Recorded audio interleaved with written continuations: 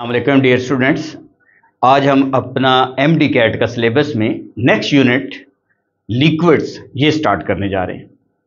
बेटा, आपको पता है कि एम डी कैट का एक अपना सिलेबस है या नम्स का एक अपना सिलेबस है, हम उस सिलेबस को फॉलो करते हैं। और मेरी तरफ़ से आपको जो रिकमेंडेशन है, वो ये है कि अगर आपने एम डी कैट देना है तो आपको दो बुक्स फॉलो करनी चाहिए। नेशनल बुक फाउंडेशन और पंजाब टेक्स्ट बुक। ये दो बुक्स ऐसी हैं कि अगर आप इन दो बुक्स को साथ लेके चलें और साथ आप पास्ट पेपर कर लें या कोई असाइनमेंट्स और टेस्ट की फॉर्म में चीज़ें सॉल्व करें तो इन बेटा आप लोगों का स्कोर बेहतरीन आ सकता है। लास्ट ईयर भी हमारे कुछ स्टूडेंट्स ने 195, 194 अगर वो सुन रहे हैं तो उन्होंने 200 में से स्कोर किया एमडी कैट के अंदर। तो बेटा ये जो स्कोर है, ये तभी आता है जब आपके एक टॉपिक के ऊपर अच्छी ग्रिप हो। इसलिए अगर कोई बच्चा ये सोचता है कि एम डी कैट के लिए क्या सिर्फ़ मुझे मल्टीपल चॉइस करने चाहिए तो हरगिज नहीं बेटा।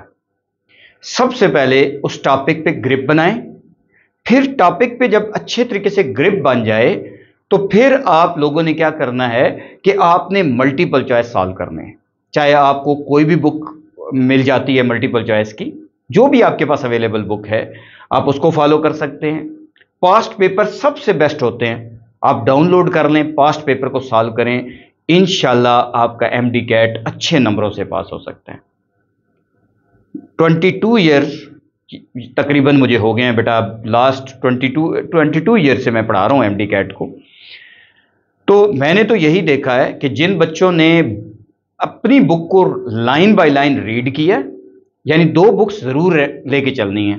जैसे मैंने कहा नेशनल बुक फाउंडेशन और Punjab text book read by line by line read करें और साथ पास्ट पेपर करें तो इन बेहतरीन तैयारी हो जाएगी। और मैं अपने लेक्चर में इधर उधर ज़्यादा बातों की तरफ़ नहीं जाऊँगा टाइम भी आपका वेस्ट नहीं करूँगा। हर टॉपिक के अंदर में से मेन मेन पॉइंट्स मैं बताऊँगा, जो कि आपको इंट्री टेस्ट पेपर के लिए तैयार करनी है। ठीक है?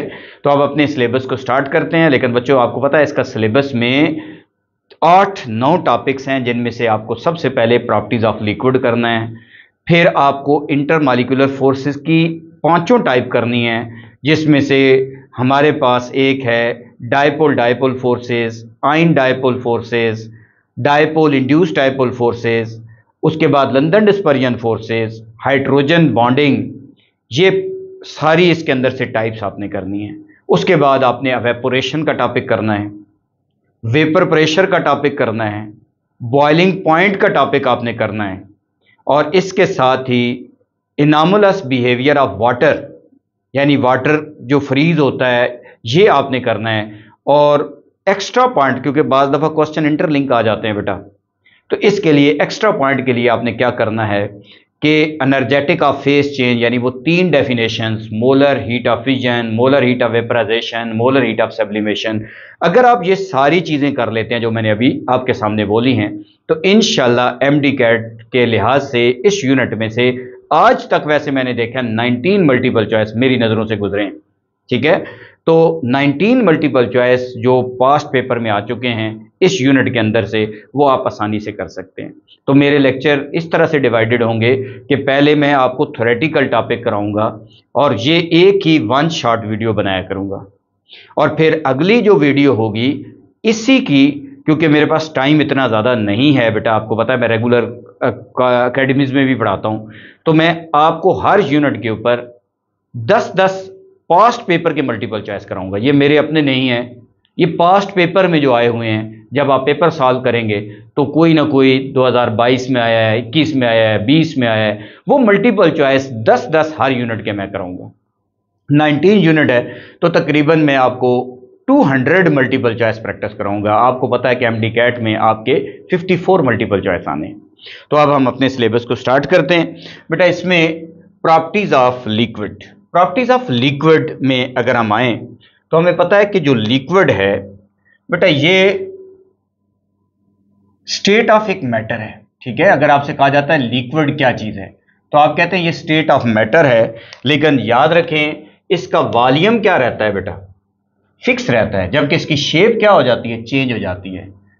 State of matter having having definite definite का मतलब होता है फिक्स हो जाना constant state of matter having definite volume but indefinite indefinite indefinite का मतलब होता है जिसकी शक्ल चेंज होती रहती है. Indefinite shape state of matter having definite volume but indefinite shape is called liquid और आपको पता है कि बच्चों, ये सबसे कम पाए जाने वाली state of matter on earth भी है। अब बच्चे कहेंगे कि, सर, आप कैसे कह रहे हैं? सेवेंटी परसेंट वाटर होता है। सबसे कम पाए जाने वाली स्टेट ऑफ़ मैटर अर्थ पे इसलिए इसको बोला जाता है कि जहाँ टेम्परेचर बहुत ज़्यादा हाई है, बच्चों, यहाँ, वहाँ पे ये गैस की फॉर्म में है। और जहाँ टेम्परेचर बहुत ज़्यादा लो है, वहाँ पे ये सॉलिड फॉर्म में है। तो इसलिए अगर मैं आपसे कहूँ कि ये स्टेट ऑफ़ मैटर क्या हो, कैसे एग्जिस्ट करती है तो याद रखें ये स्टेट ऑफ़ मैटर जो है, सबसे लीस्ट स्टेट ऑफ़ मैटर है जो एग्जिस्ट करती है ऑन अर्थ अब इसकी कुछ प्रॉपर्टीज़ हैं, जिनमें से मैं आपके सामने एक प्रॉपर्टी डिस्कस करने लगा हूँ डिफ्यूजन ये एम डी कैट के सिलेबस में मेंशन है कि कौन कौन सी प्रॉपर्टीज़ होनी चाहिए। याद रखें बेटा लिक्विड के अंदर डिफ्यूजन की प्रॉपर्टी मौजूद है, ठीक है? They have property of diffusion they have property of diffusion. इसके अंदर प्रॉपर्टी ऑफ़ डिफियन पाई जाती है। डिफियन क्या होता है? एक चीज़ का दूसरी चीज़ के साथ मिक्स हो जाना। जैसे आपने देखा होगा कि बेटा, अगर हम इंक को वाटर में डाल दें तो इंक आहिस्ता आहिस्ता वाटर में जो है वो स्प्रेड हो जाती है, फैल जाती है। तो इंक का वाटर के अंदर फैल जाना वो कौन सा प्रोसेस है? डिफियन। ठीक है? Ink in water. Ink in water. ये आपके पास डिफियन है। लेकिन याद रखें, जो गैसेस के अंदर रेट ऑफ़ डिफियन होता है, वो फास्ट होता है। जबकि इनके अंदर जो डिफियन होगा, वो स्लो होगा। ठीक है? इसमें रेट ऑफ़ डिफियन स्लो होता है। क्या वजह है? इनके मालिक्यूल में फोर्स ऑफ़ अट्रैक्शन ज़्यादा होती है। इनके अंदर मूवमेंट कम होती है।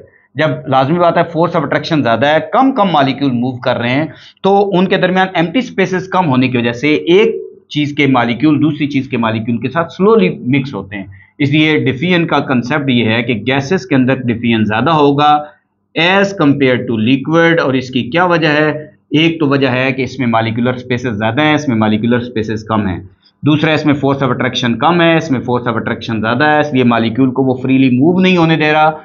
जिसकी वजह से मालिक्यूल अगर फ्रीली मूव नहीं करते तो डिफियन जो होगा, वो इनके अंदर जो होगा लिक्विड के अंदर जो रेट ऑफ़ डिफियन होगा, या आप समझ लें, इसकी स्पीड होगी, वो स्लो होगी। ठीक है?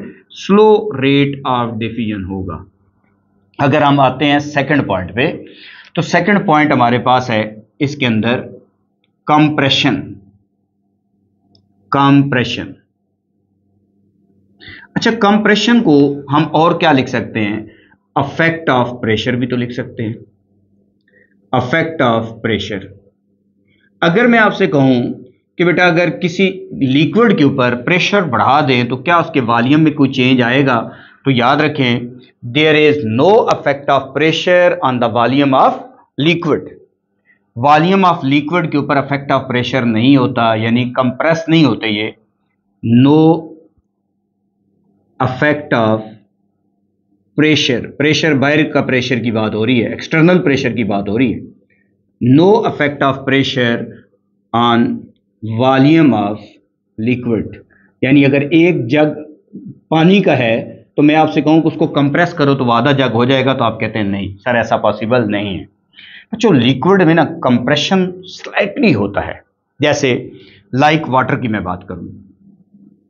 और वाटर है, इस पे प्रेशर है वन एटीएम मैं इसका प्रेशर वन एटीएम से टू एटीएम कर देता हूँ। तो इसके मालिक्यूल में स्लाइटली सा कंप्रेशन होगा। वो और कितना कंप्रेशन होगा? वो zero point zero zero four five percent इतने परसेंट ये कंप्रेस होगा। न होने के बराबर है, लेकिन यही बात मैं किसी गैस के ऊपर अप्लाई कर दूँ। तो बेटा, गैस के ऊपर जब आप प्रेशर वन एटीएम से टू एटीएम करते हैं तो गैस मालिक्यूल कंप्रेस होते हैं और उनका वॉल्यूम डबल हो गया है। तो प्रेश, उनका जो प्रेशर है वो डबल हो चुका है तो वॉल्यूम में डबल कमी आ जाती है 50 परसेंट वॉल्यूम रिड्यूस हो जाता है। यहाँ वॉल्यूम देखो 0.0045 परसेंट रिड्यूस हो रहा है, जबकि यहाँ वन एटीएम से जब टू एटीएम पे जा रहे हैं गैसेस के अंदर तो वॉल्यूम 50 परसेंट रिड्यूस हो रहा है। वॉल्यूम, प्रेशर डबल करने से वॉल्यूम डबल कम हो रहा है तो इसलिए हम कहते हैं in case of liquid effect of pressure नहीं होता। तो इसलिए मल्टीपल चॉइस में आपने देखना है कि लिक्विड के ऊपर अफेक्ट ऑफ़ प्रेशर नहीं होगा। तीसरी प्रॉपर्टीज़ अगर पे आए, अगर हम इसके अंदर, और वो हमारे पास है एक्सपेंशन एक्सपेंशन बच्चों, ये बताना बहुत ज़रूरी है। लाजमी बात है, कुछ ऐसे बच्चे भी होते हैं जिनको बिल्कुल कुछ नहीं आ रहा होता, इसीलिए हम उनकी चीज़ें भी देख रहे होते हैं। एक्सपेंशन इसे effect of effect of temperature भी बोल सकते हैं। याद रखें, किसी भी लिक्विड को अगर आप हीट करें, वो एक्सपेंड होते हैं। यानी टेम्परेचर का वॉल्यूम के ऊपर अफेक्ट होगा, ठीक है? जब आप टेम्परेचर बढ़ाओगे तो वॉल्यूम जो है वो बढ़ जाएगा। Temperature is directly proportional to volume in case of liquid लेकिन कम, इसमें एक्सपेंशन होगा, बहुत कम होगा। ठीक है? तो हम कह सकते हैं कि when temperature is increase volume of the liquid increases this property is called expansion और लिक्विड के अंदर ये प्रॉपर्टी एक्सपेंशन की मौजूद है। अगर मैं आपसे कहूँ, बेटा फॉर एग्जांपल तो आपने देखा होगा कि मरकरी जो हमारे पास है थर्मामीटर के अंदर, ठीक है? जो हमारे पास मरकरी है थर्मोमीटर के अंदर अगर आप उसका टेम्परेचर राइज कर दो तो लाजमी बात है, आपको पता है कि गर्मियों में टेम्परेचर जब बढ़ता है तो मरकरी का लेवल जो है वो ऊपर चला जाता है। जब टेम्परेचर डिक्रीज हो तो मरकरी अब कंप्रेस हो जाता है। तो इसीलिए हम कह सकते हैं कि लिक्विड के अंदर ये कंप्रेशन के जो हमारे पास है एक्सपेंशन की प्रॉपर्टी है, वो पाई जाती है। टेम्परेचर से ये अफेक्ट होते हैं। टेम्परेचर का अफेक्ट लिक्विड पे होगा प्रेशर का अफेक्ट लिक्विड पे नहीं होगा लिक्विड स्लोली मिक्स होंगे। नंबर फोर प्रॉपर्टी छह प्रॉपर्टीज़ आपने स्टडी करनी है, ठीक है? और वो हमारे पास है motion of the molecule motion of molecule अगर मैं आपसे कहता हूँ लिक्विड के मालिक्यूल में जो मूवमेंट्स हैं, वो होंगी या नहीं होंगी तो याद रखिए बेटा स्लो इनकी स्पीड होती है, क्योंकि इनके मालिक्यूल में force of attraction as compare to gases ज़्यादा होती है मालिक्यूल एक दूसरे में ज़्यादा अट्रैक्ट हो रहे होते हैं। स्ट्रांग फोर्स ऑफ़ अट्रैक्शन आमतौर पर हम लिक्विड के अंदर बोलते हैं। तो जब इनमें फोर्स ऑफ़ अट्रैक्शन मौजूद है तो मालिक्यूल फ्रीली मूव नहीं करते। तो there is slow there is slow motion slow motion of the molecule slow motion है। लेसर स्पीड से मालिक्यूल मूव करते हैं। यानी अपनी जगह से जब दूसरी जगह जाते हैं तो लेसर स्पीड अगर उनकी स्पीड लेस है तो कोलेयन भी कम होगी बेटा। अगर कोलेयन कम होगी तो काइनेटिक एनर्जी भी इनकी कम होगी। तो इसलिए अगर आपसे पूछा जाए कि मोशन ऑफ़ द मालिक्यूल के लिहाज से इनकी काइनेटिक एनर्जी क्या होगी तो लो काइनेटिक एनर्जी होगी, और इनके अंदर कोलेयन क्या होगी, वो भी लो होगी, कम होगी स्लो होगी, और इसी तरीके से मोशन ऑफ़ द मालिक्यूल यानी मालिक्यूल अपनी जगह से दूसरी जगह जो मूव करते हैं, वो स्लोली मूव करते हैं। नंबर फाइव अगर आए हम तो हमारे पास है, इसके अंदर जो प्रॉपर्टी हमने याद रखनी है spaces between them spaces between them ये याद रखें बेटा, कि जो स्पेस होती है लिक्विड के मालिक्यूल के दरमियान, वो बहुत कम होती है, ठीक है? यानी इनके दरमियान जो मालिकुलर स्पेसेस हैं या गैप्स हैं, जिनको हम एम्प्टी स्पेसेस बोलते हैं, वो बहुत कम हैं। मालिक्यूल एक दूसरे के बहुत ज़्यादा करीब करीब होते हैं। तो हम कह सकते हैं कि इनके अंदर जो स्पेसेस बिटवीन देम हैं, वो लेस होती हैं। Less spaces between them spaces between them लेकिन ये याद रखें बेटा इन केस ऑफ़ ये हम गैसेस के साथ कंपैरिजन में कह रहे हैं। इन केस ऑफ़ सॉलिड देखा जाए तो इनके अंदर स्पेसेस मौजूद हैं बेटा। इसलिए लेस स्पेसेस बिटवीन देम होंगी और लेस स्पेसेस होंगी मालिक्यूल की काइनेटिक एनर्जी भी कम होगी फोर्स ऑफ़ अट्रैक्शन उन मालिक्यूल के दरमियान ज़्यादा होगी।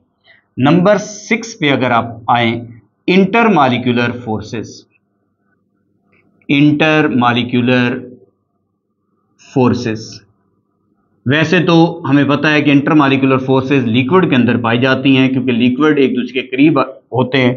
तो यहाँ हम कहते हैं there are strong intermolecular forces between the liquid ठीक है? Strong intermolecular forces strong intermolecular forces between them liquid के मालिक्यूल में स्ट्रॉन्ग फोर्स ऑफ़ अट्रैक्शन मौजूद होगी। अब हमारे पास नए आखिरी जो प्रॉपर्टी हमें एम डी कैट के लिहाज से याद करनी है, वो हमारे पास है kinetic energy kinetic energy on the basis of K M T of gases on the basis of kinetic molecular theory of gases तो याद रखें, इनके दरमियान, क्योंकि इंटरमालिकुलर फोर्सेस स्ट्रांग हैं मालिक्यूल फ्रीली मूव नहीं कर रहे, जब मालिक्यूल फ्रीली मूव नहीं कर रहे स्लो मूवमेंट्स हैं तो काइनेटिक एनर्जी भी क्या होगी? लेस काइनेटिक एनर्जी होगी जी। Less kinetic energy of the molecules इनके मालिक्यूल की जो काइनेटिक एनर्जी होगी वो लेस होगी। तो बेटा ये कुछ पॉइंट्स हैं जो कि आपने प्रॉपर्टीज़ ऑफ़ लिक्विड जो कि बिल्कुल बेसिक चीज़ है वो आपको तैयार करनी है। अगर मैं आपसे कहता हूँ कि एक लिक्विड है वो आ, किसी भी वाल के साथ चिपक जाता है जैसे पेंट वगैरह है या इस तरह की कोई भी लिक्विड है ये वाल के साथ क्यों चिपक जाते हैं क्या वजह है ये कौन सी फोर्सेज हैं? तो याद रखिएगा बेटा ये वंडरवाल फोर्सेज हैं ठीक है? वंडरवाल फोर्सेस के ज़रिए ये जो मालिक्यूल हैं, वो वाल के साथ चिपक जाते हैं। वंडरवाल फोर्सेस पाँचों टाइप में से हाइड्रोजन को छोड़ दें हाइड्रोजन बॉन्डिंग को छोड़ दें। बाकी जो चारों टाइप हैं, उन कंबाइन को एक नाम दिया जाता है बच्चों वंडरवाल फोर्सेस ठीक है? तो वंडरवाल फोर्सेस क्या होती हैं? Intermolecular forces except hydrogen bonding are called van der Waals forces और एक लिक्विड के मालिक्यूल वाल के साथ जो चिपक जाते हैं, वो बेसिकली वंडरवाल फोर्सेस के ज़रिए चिपक जाते हैं जी। तो ये कुछ प्रॉपर्टीज़ हैं जो कि आपने नोट करनी है, इनको नोट करें। अब नेक्स्ट पॉइंट की तरफ़ हम चलते हैं। बेटा नेक्स्ट हमारे पास है इंटरमालिकुलर फोर्सेस ठीक है? अब इंटरमालिकुलर फोर्सेस जो हम डिस्कस करने जा रहे हैं, इससे पहले मैं इंट्रा भी बताऊँगा, फिर इंटर भी बताऊँगा, और इनके दरमियान कुछ रिलेशंस भी बताऊँगा, ताकि आपका मल्टीपल चॉइस अच्छे तरीके से सॉल्व हो सके। तो ये हमारे पास नेक्स्ट आते हैं। इंट्रा मालिकुलर फोर्सेस क्या होती हैं?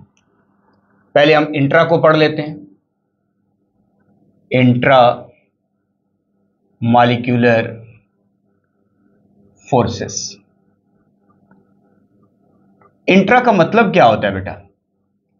इंट्रा का मतलब होता है विद इन हम कहते हैं कि इंट्रा अगर हम बात करें तो इसका मतलब होता है विद इन विद इन का मतलब क्या है? एक ही मालिक्यूल के दरमियान जो फोर्स ऑफ़ अट्रैक्शन हो, जैसे आपको पता है कि एच और सी एल के दरमियान बॉन्ड है तो दो एटम के दरमियान, ये एक ही मालिक्यूल के एटम के दरमियान जो फोर्स है, इसको हम क्या बोलते हैं? इसको हम बोलते हैं इंट्रा ये इंट्रा मालिकुलर फोर्स है। या एन है तो बेटा मैं आपसे कहता हूँ एन में सोडियम आइन के दरमियान क्लोराइड आइन के दरमियान आइनिक बॉन्ड है। इसका मतलब है कि इसको भी इंट्रा मालिकुलर फोर्सेस कहते हैं।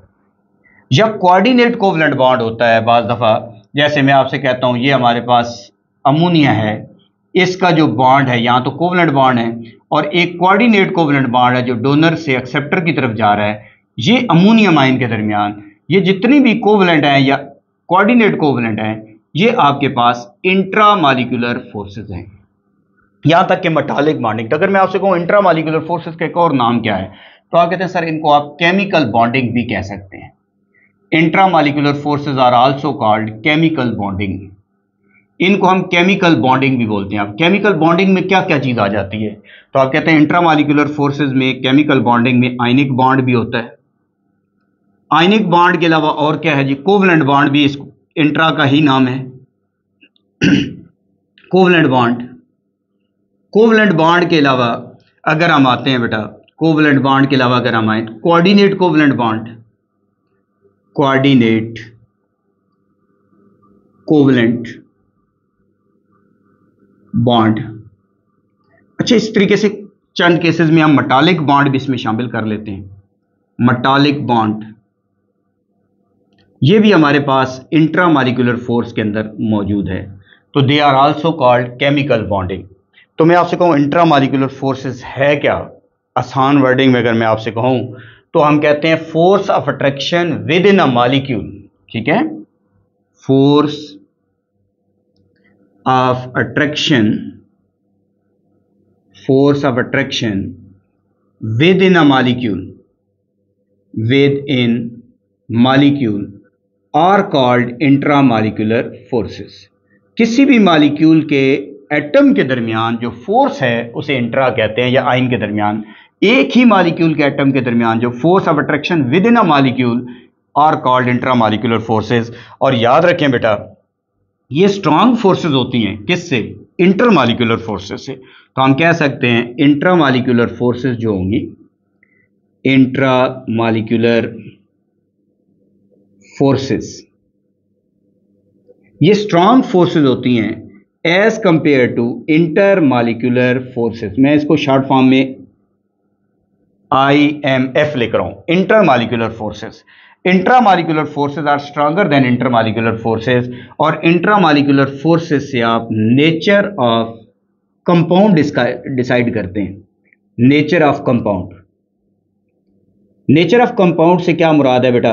देखो, अगर उनमें आयनिक बॉन्ड है तो आयनिक कंपाउंड है कोवलेंट बॉन्ड है तो वो कोवलेंट कंपाउंड है। कोऑर्डिनेट कोवलेंट बॉन्ड है, तब भी कोवलेंट कंपाउंड है।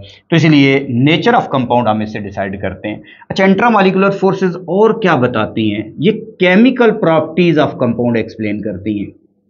केमिकल प्रॉपर्टीज़ ठीक है? इंट्रामालिकुलर फोर्सेज से हम chemical properties of compound discuss करते होते हैं। और ये आपको पता है कि ओवरऑल तो केमिकल बॉन्डिंग है। अब हम आते हैं इंटरमालिकुलर फोर्सेस के ऊपर। इंटरमालिकुलर फोर्सेस क्या है? इंटर मालिक्यूलर फोर्सेस अच्छा इंटर मालिक्यूलर फोर्सेस के बारे में ये है कि बेटा, ये वीक फोर्सेस हैं। इंटर का मतलब होता है बिटवीन इंटर का अगर हम बात करें तो हम कहते हैं इसका मतलब होता है बिटवीन बिटवीन मीन दो डिफरेंट मालिक्यूल या दो सिमिलर मालिक्यूल के दरमियान। अब जैसे आपके सामने मैं लिख दूँ HCl एक और HCl का मालिक्यूल बना दूँ और इसके ऊपर पोलैरिटी क्रिएट कर दूँ पार्शली पॉजिटिव पार्शली नेगेटिव जिसकी इलेक्ट्रोनेगेटिविटी कम है, उस पर पार्शली पॉजिटिव जिसकी ज़्यादा है, उस पर पार्शली नेगेटिव इनके दरमियान डॉटेड लाइन से ये फोर्स डिनोट की जाती हैं, क्योंकि ये वीक होती हैं तो डॉटेड लाइन से बनाई जाती हैं। तो ये जो फोर्स मैंने बनाई, ये कौन सी है? आप कहते हैं ये इंटर मालिक्यूलर फोर्स है जी। Inter molecular force. ये आपके पास है। अब इसी तरीके से अगर मैं दो मालिक्यूल क्लोरोफॉर्म के दो सेम भी ले सकता हूँ, डिफरेंट भी ले सकता हूँ, सपोज़ करें, मैंने क्लोरोफॉर्म है, जो ज़रूरत पड़ है पोलैरिटी क्रिएट कर रहा हूँ, ये क्लोरोफॉर्म का स्ट्रक्चर है। दूसरा क्लोरोफॉर्म का मालिक्यूल इसी तरीके से बना दें। ये बना दिया है। अब इसके ऊपर ज़रूरत पड़ने पे बच्चों, मैं जस्ट दिखा रहा हूँ, इसके ऊपर चार्ज पार्शली आपको पता है कि पॉजिटिव है और इन क्लोरीन पे नेगेटिव है और इस पे भी पार्शली पॉजिटिव है। अब इस क्लोरीन पे पार्शली नेगेटिव है, ज़रूरत पड़ने पे दिखा रहा हूँ। यहाँ डॉटेड लाइन से एक फोर्स बना रहा हूँ। ये जो मैंने डॉटेड लाइन से फोर्स बनाई, ये जो आपके पास फोर्स है, इसको हम क्या कहते हैं? इंटर मालिकुलर फोर्सेस इसका मतलब है ये वीक फोर्सेस हैं, ये डॉटेड लाइन से डिनोट होती हैं। देखें, यहाँ ये परमानेंट लाइन से डिनोट होती है, ये इलेक्ट्रोस्टैटिक फोर्स भी होती है। ये बहुत स्ट्रांग फोर्स है, जबकि वो बहुत वीक फोर्स है।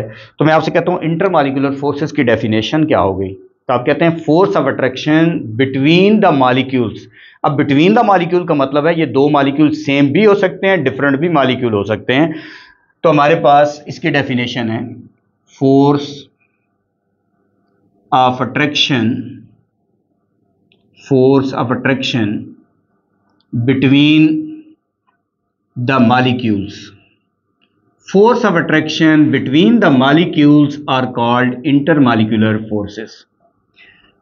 ये याद रखें बेटा these forces are weak forces ये आपके पास वीक फोर्सेज हैं। किसके साथ कंपैरिजन में का बात कर रहे हो? इंट्रा के साथ। ये वीक फोर्सेज हैं। और अगर मैं आपसे कहूँ इंटरमालिकुलर फोर्सेस से हम क्या डिसाइड करते हैं तो आप कहते हैं फ़िज़िकल प्रॉपर्टीज़ हम डिस्कस करते हैं फ़िज़िकल स्टेट वगैरह फ़िज़िकल प्रॉपर्टीज़ हम इससे डिस्कस करेंगे। अगर हमें इंटरमालिकुलर फोर्सेस दी जाएँ तो हम फ़िज़िकल प्रॉपर्टीज़ डिस्कस कर रहे होते हैं। जैसे फ़िज़िकल प्रॉपर्टीज़ क्या होती हैं? बाज़ दफ़ा हम कहते हैं मेल्टिंग एंड बॉइलिंग पॉइंट हम डिस्कस करते हैं। इंटरमालिकुलर फोर्सेस ज़्यादा हैं तो मेल्टिंग एंड बॉइलिंग पॉइंट ज़्यादा होगा। और इसी तरीके से हीट ऑफ़ वेपराइजेशन जिसको हम हीट ऑफ़ वेपराइजेशन को डेल्टा एच वी से लिखते हैं, और एक heat of sublimation delta H S से लिखते हैं बेटा। तो ये डायरेक्टली प्रोपोर्शनल होती हैं इंटरमालिकुलर फोर्सेस के। जैसे इंटरमालिकुलर फोर्सेस ज़्यादा होंगी तो हीट बॉइलिंग पॉइंट ज़्यादा होगा मेल्टिंग पॉइंट ज़्यादा होगा हीट ऑफ़ वेपराइजेशन जो है इंटरमालिकुलर फोर्सेस ज़्यादा होंगी तो हीट ऑफ़ वेपराइजेशन हीट ज़्यादा करना पड़ेगा बेटा आपको, तब हीट वेपोरेट होगा। हीट ऑफ़ सब्लिमेशन यानी उसको सब्लिमाइज करने के लिए ज़्यादा हीट करनी पड़ेगी। तो इंटरमालिकुलर फोर्सेज जो होती हैं, वो basically physical properties of the substance indicate करती हैं। फ़िज़िकल प्रॉपर्टीज़ में melting point boiling point heat of vaporization heat of sublimation जहाँ के बाद दफ़ा डेंसिटी भी हम डिस्कस कर रहे होते हैं। तो ये सारी प्रॉपर्टीज़ इंटरमालिकुलर फोर्सेस पे आती हैं। इंटरमालिकुलर फोर्सेस की बेसिक कितनी टाइप्स हैं? तो हमारे पास इसकी बेसिक पाँच टाइप्स होती हैं बेटा। सबसे पहले अगर हम आए तो इसकी जो टाइप है, वो हमारे पास है डायपोल डायपोल फोर्सेस ये इंटरमालिकुलर फोर्सेस की एक टाइप है। सेकंड जो टाइप है, उसको हम नाम देते हैं ion dipole forces. Ion dipole forces. Third जो हमारे पास है, वो है dipole induce dipole forces. Dipole induce dipole forces. अच्छा डायपोल इंड्यूस डायपोल फोर्सेस का एक और नाम क्या है? बच्चों, इनको डिबे फोर्सेस भी कहते हैं। डिबे आपको पता है आपने वैसे भी आपने इनका एक और नाम भी पढ़ा होता है। डिबे आपको पता है जो हमारे पास है यूनिट है जिसे डायपोल मूवमेंट कहते हैं। डायपोल मूवमेंट की जो यूनिट होती है, वो भी डिबे है कैपिटल डी से डिनोट होती है। तो Debye forces dipole induce dipole forces को कहा जाता है। नंबर फोर हमारे पास हैं London dispersion forces London dispersion forces simple dispersion forces भी इनको लोग लिखते रहते हैं। डिस्परियन फोर्सेस इसका एक और नाम भी अभी डिटेल में जाता हूँ तो बताता हूँ। इनको डायपोल इंड्यूस टाइपोल फोर्सेस भी बोला जाए इनको हम बोलते हैं instantaneous dipole induce dipole forces instantaneous dipole induce dipole forces और पांचवी जो टाइप है, वो हमारे पास इसके अंदर मौजूद है हाइड्रोजन बॉन्डिंग हाइड्रोजन बॉन्डिंग एक तो बेटा इनमें से ना आपको अच्छे तरीके से ग्रिप बनानी है। इनके ऊपर अक्सर मल्टीपल चॉइस सबसे ज़्यादा अगर इस पे टॉपिक पे, इस यूनिट पे मल्टीपल चॉइस आते हैं तो वो इन टॉपिक के ऊपर आते हैं। मैं बड़ी डिटेल से आपको, यानी जो क्रक्स है, इसका निकाल के दूँगा। लेकिन सबसे पहले इनका ऑर्डर याद कर लें कि इनका order compound to compound vary कर सकता है बच्चों, बाज केसेस में। लेकिन general 99.9 percent ninety exceptional cases होते हैं बाद दफ़ा, जैसे हम कहते हैं कि देखो डायमंड है। डायमंड में लंदन डिस्परियन फोर्सेज होती हैं। लेकिन बच्चों, डायमंड का मेल्टिंग एंड बॉलिंग पॉइंट कितना ज़्यादा होता है? हम तो कहते हैं इंटर मालिकुलर फोर्सेज ज़्यादा होंगे तो मेल्टिंग एंड बॉलिंग पॉइंट ज़्यादा होगा। और डिस्पर, लंदन डिस्परियन फोर्सेज तो वीक टाइप है। तो उसका तो अंदर फोर्स लंदन डिस्पर्जन है तो मेल्टिंग एंड बॉइलिंग पॉइंट कम होना चाहिए। तो आप कहते हैं, नहीं, उसका साइज़ बहुत बड़ा है। साइज़ बढ़ने से लंदन डिस्पर्जन फोर्सेज इतनी ज़्यादा हो जाती हैं कि ये फिर बाकी फोर्सेज से भी ऊपर निकल जाती हैं।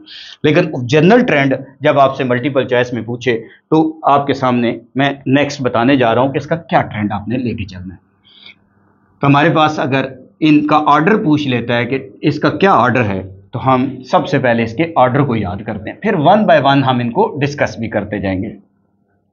सबसे पहले अगर हम आते हैं तो बच्चों, जो डायपोल डायपोल फोर ये जो फोर्सेज हैं, इनमें सबसे स्ट्रॉन्गेस्ट फोर्सेज हैं आइन डायपोल ठीक है? आइन डायपोल ये आपको बुक्स में नहीं पढ़ाई जाती, या अक्सर बुक में मिलेगी भी नहीं, लेकिन ये अभी आपने याद रखना है। आइन डायपोल फोर्सेज जो होंगी, ये सबसे स्ट्रॉन्गेस्ट फोर्सेज हैं इनमें से। फिर नेक्स्ट पे हाइड्रोजन बॉन्डिंग है। हाइड्रोजन बॉन्डिंग ऑर्डर वाइज ये याद रखना है। अच्छा हाइड्रोजन बॉन्डिंग के बाद नेक्स्ट जो आएगी, वो डायपोल डायपोल फोर्सेस हैं डी डी फोर्सेस लिखने लगा बेटा। डायपोल डायपोल फोर्सेस और नेक्स्ट जो हमारे पास आएँगी, वो हमारे पास आएँगी dipole induce dipole forces dipole dipole induce dipole induce dipole forces और सबसे एंड पे जो आएँगी, वो हमारे पास है लंदन डिस्परियन फोर्सेस सबसे वीकेस्ट टाइप इनके अंदर समझी जाती है। अब हमारे पास बच्चों, इनमें सबसे पहले अगर हम आते हैं वन बाय वन हमने डिस्कस करना है तो सबसे पहले हम उसी तरतीब को अगर हम जेन में रखें तो हमारे पास पहली टाइप है dipole dipole forces dipole dipole forces अच्छा डायपोल डायपोल फोर्सेस जो होंगी, हमें पता है कि ये दो पोलर मालिक्यूल के दरमियान एग्जिस्ट करती हैं। They exist between two polar molecule ठीक है? They exist between two polar molecules polar molecules आपको पता डायपोल का मतलब ये है दो पोल वाला, यानी डायपोल का मतलब ही है बच्चों पोलर मालिक्यूल एक के ऊपर जैसे एच है ना तो ये देखो दो पोल है पॉजिटिव नेगेटिव इसलिए इसको डायपोल बोलते हैं। They exist between two polar molecule number two क्या याद रखना है बेटा? ये पोलर मालिक्यूल के दरमियान तो होती हैं लाइक मैं आपसे कहता हूँ, इसकी कोई एग्ज़ाम्पल दे दें तो आप कोई भी एक मालिक्यूल लिख दें लाइक एच लिख दिया आपने। ये एक पोलर मालिक्यूल है, दूसरा भी आपने एच लिख दिया पोलर मालिक्यूल है। तो एक का पॉजिटिव दूसरे के नेगेटिव से अट्रैक्ट हो रहा है तो यहाँ जो फोर्स है इंटरमालिकुलर फोर्स तो है, जैसे यहाँ हमने देखो इंटरमालिकुलर फोर्सेस लिखा है। लेकिन इस वक्त इसका स्पेसिफिक नाम होगा dipole dipole forces D forces या यहाँ पे भी जो फोर्सेस हैं, ये भी देखो डायपोल डायपोल है, एक का पॉजिटिव दूसरे के नेगेटिव से अट्रैक्ट हो रहा होता है। तो अगर मैं आपसे कहूँ, ये फोर्सेस की डेफिनेशन क्या है तो आप कह सकते हैं force of attraction positive pole of the one molecule and negative pole of the other molecule ठीक है? Force of attraction, force of attraction between positive pole या पॉजिटिव एंड भी कह सकते हो। Positive pole of one molecule कोई एक मालिक्यूल उसका positive pole and negative pole of other molecule एक का पॉजिटिव पोल दूसरे के नेगेटिव पोल से अट्रैक्ट हो रहा होता है। इसे हम डायपोल डायपोल फोर्सेस कहते हैं। नंबर फोर इनकी स्ट्रेंथ कितनी होती है? बच्चों, ये कोवलेंट बॉन्ड के साथ अगर मैं कंपेयर करूँ कोवलेंट बॉन्ड आपको पता है कि हमें पता है डाय जो कोवलेंट बॉन्ड है, वो इंट्रा है इंट्रा बहुत स्ट्रांग फोर्स है। उनकी निस्बत इनकी स्ट्रेंथ होती है वन परसेंट क्या मतलब? यानी कोवलेंट बॉन्ड इनसे 99 परसेंट स्ट्रांग होता है। ये वन परसेंट होती हैं। These forces are one percent effective these forces are one percent effective as the covalent bond ये लाइन याद करनी है मल्टीपल चॉइस पूछा जा चुका है एंट्री टेस्ट के अंदर एमडी कैट के अंदर। These forces are one percent effective as the covalent bond covalent bond की नस्बत इनकी परसेंटेज वन परसेंट होती है। यानी आमतौर पर ना, हम इनको, देखो, इस जगह पे लाते हैं हाइड्रोजन बॉन्डिंग से वीक फोर्सेज हैं। इनकी स्ट्रेंथ की वैल्यू भी होती है बेटा बाज हमारी बुक में नहीं है टेन से लेकर फोर से लेकर टेन किलो जॉल पर मोल इनकी स्ट्रेंथ होती है। जब भी वैल्यू फोर से ten kilo joule per mole strength की दी हो तो आप उन फोर्सेस को डायपोल डायपोल फोर्सेस कंसिडर करते हैं। नंबर फाइव अच्छा क्या ये इलेक्ट्रोनेगेटिविटी डिफरेंस पर डिपेंड करती हैं? बिल्कुल करती हैं बेटा। ठीक है? इनका जो इलेक्ट्रोनेगेटिविटी डिफरेंस है डेल्टा का साइन डिफरेंस का electronegativity difference is directly proportional to D D forces अगर इलेक्ट्रोनेगेटिविटी डिफरेंस ज़्यादा होगा डी डी फोर्सेज ज़्यादा होंगी। जैसे सपोज़ करें एच एफ़ में तो हाइड्रोजन बॉन्डिंग है, लेकिन ओवरऑल अगर हम देखा जाए तो इसमें डी पी डी फोर्सेज ज़्यादा होंगी as compared to H C L और एच में ज़्यादा होंगी एज़ कंपेयर टू एच और यहाँ ज़्यादा होंगी एज़ कंपेयर टू एच इसकी क्या वजह है? इसकी वजह यह है कि यहाँ पे अगर हम इलेक्ट्रोनेगेटिविटी को देखें, अगर यहाँ पे हम इलेक्ट्रोनेगेटिविटी को देखें तो इसकी इलेक्ट्रोनेगेटिविटी है 2.1 और इसकी इलेक्ट्रोनेगेटिविटी है 4 तो डिफरेंस कितना निकला? वन वन पॉइंट नाइन का। यहाँ पे आपको पता है कि इसकी इलेक्ट्रोनेगेटिविटी 3.0 है। इसकी इलेक्ट्रोनेगेटिविटी डिफरेंस 2.1 3.0.9 का निकलेगा। और यहाँ जो इलेक्ट्रोनेगेटिविटी है ब्रोमीन की 2.8 है और आयोडीन की 2.5 है। तो ये 2.1 तो डिफरेंस कितना निकला? यहाँ तो डिफरेंस आपके पास 0.4 का आ है। तो देखो इलेक्ट्रोनेगेटिविटी डिफरेंस यहाँ पे आपके पास 1.9 का आ रहा है। यहाँ पे अगर आप डिफरेंस निकालते हो 0.9 आता है। यहाँ जो डिफरेंस निकालते हो 0.7 आता है। और यहाँ पे जो डिफरेंस है पॉइंट फोर है तो इलेक्ट्रोनेगेटिविटी डिफरेंस डिक्रीज हो रहा है तो इसलिए डी डी फोर्सेस कम हो रही हैं। अब तीसरी चीज़ नेक्स्ट चीज़ जो इसमें याद रखने वाली है, वो है इंटरमालिकुलर डिस्टेंस ठीक है, दो मालिक्यूल के दरमियान जो डिस्टेंस है तो हमें पता है कि जब दो मालिक्यूल दूर चले जाएँ तो फोर्सेस कम हो जाती हैं। तो इसीलिए अगर मैं कहूँ कि इनका डिस्टेंस बिटवीन द मालिक्यूल से क्या रिलेशन है तो डिस्टेंस बिटवीन द मालिक्यूल अगर बढ़ेगा तो ये कम हो जाएँगे। ठीक है? तो नेक्स्ट हम ये पॉइंट भी अपने की पॉइंट्स में लिख सकते हैं कि distance distance between the molecule distance between the molecules अगर ज़्यादा होगा तो ये क्या हो जाएँगी? डिस्टेंस बढ़ेगा तो ये कम हो जाएँगी। तो डिस्टेंस बिटवीन द मालिक्यूल के साथ डी डी फोर्सेस का इनवर्स रिलेशन है। They inversely proportional to D D forces तो ये हमारे पास इसमें से पॉइंट याद करने वाले हैं, जो डायपोल डायपोल फोर्सेस हैं। अब बहुत सारे मालिक्यूल्स में हैं ये, ठीक है? जितने भी पोलर मालिक्यूल्स हैं, उन सब में पाई जाती हैं, जिनमें हाइड्रोजन बॉन्डिंग ना हो बच्चों उनमें ये होती हैं। जैसे मैं कहूँ एल्डिहाइड्स के मालिक्यूल में कौन सी फोर्स है? तो आप कहेंगे डी डी फोर्सेस कीटोन के मालिक्यूल्स में कौन सी फोर्स है? D D forces dipole dipole forces जिनमें हाइड्रोजन बॉन्डिंग नहीं है, मैं आपको एंड पे हाइड्रोजन बॉन्डिंग का भी टोटका बताऊँगा कि हाइड्रोजन बॉन्डिंग फ़ौरन कैसे पहचाने कि हाइड्रोजन बॉन्डिंग है या नहीं है। तो हाइड्रोजन बॉन्डिंग के अलावा, बेटा, जिनमें फोर्सेस पोलैरिटी क्रिएट होती है, उनमें डी डी फोर्सेस मौजूद होती हैं।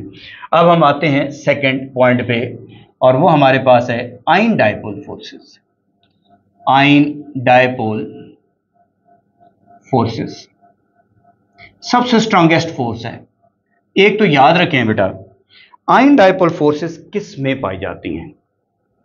ये एक आइन के दरमियान और opposite pole of the polar solvent के दरमियान होती हैं। These forces exist between these forces exist between ion and opposite pole of the polar solvent opposite pole of polar solvent. जैसे कोई भी पोलर सॉल्वेंट है, उसका जो ओपोजिट पोल है, अगर ये पॉजिटिव है तो उसका नेगेटिव होना चाहिए। अगर ये आइन नेगेटिव है तो उसका वो पॉजिटिव पोल के साथ अट्रैक्ट हो। तो ये आइन और पोलर सॉल्वेंट के दरमियान एग्जिस्ट करती हैं। सबसे स्ट्रांगेस्ट इंटरमोलिकुलर फोर्सेस की टाइप है। इंट्रा के बाद अगर किसी की बात की जाए तो आइन डायपोल फोर्सेस मौजूद होती है। ये मोस्टली कब आती हैं? जब भी कोई आइनिक कंपाउंड पोलर सॉल्वेंट में डिजॉल्व होता है। ठीक है? जब भी कोई आइनिक कंपाउंड पोलर सॉल्वेंट में डिजॉल्व कर दें, आयनिक कंपाउंड डिजॉल्व करें पोलर सॉल्वेंट में। पोलर सॉल्वेंट उनके दरमियान ये डेवलप हो जाएँगे। जैसे आपको समझाने के लिए जस्ट एनएससीएल अगर हम वाटर में ऐड करते हैं तो हम कहते हैं कि आइन एन आयोनाइज हो गया एन ए पॉजिटिव बन गया सी नेगेटिव बन गया।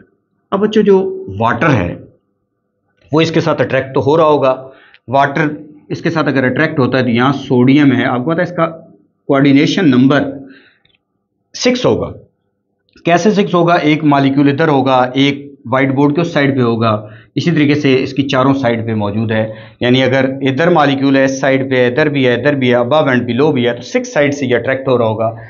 हम यहाँ पे सिक्स साइड तो नहीं बना सकते बेटा, लेकिन हम इसके कुछ मालिक्यूल जैसे ओपोजिट पोल वाटर की बेंड शेप होती है, अगर मैं उसकी शेप ऐसे बना दूँ तो ये वाटर के मालिक्यूल इसके साथ सिक्स साइड से अट्रैक्ट हो जाएँगे, क्योंकि वाइट बोर्ड है टू डायमेंशनल है, इसलिए मैं चार वाटर मालिक्यूल ऐसे बनाने लगा जस्ट आपका एक कंसेप्ट क्लियर करना है। अब इसके ऊपर चार्ज पार्शली नेगेटिव इस पर नेगेटिव इस पर भी नेगेटिव इस पर भी नेगेटिव हाइड्रोजन पे पार्शली पॉजिटिव है, वो मैं ज़ाहिर नहीं कर रहा। सब जगहों पे ऐसा ही है।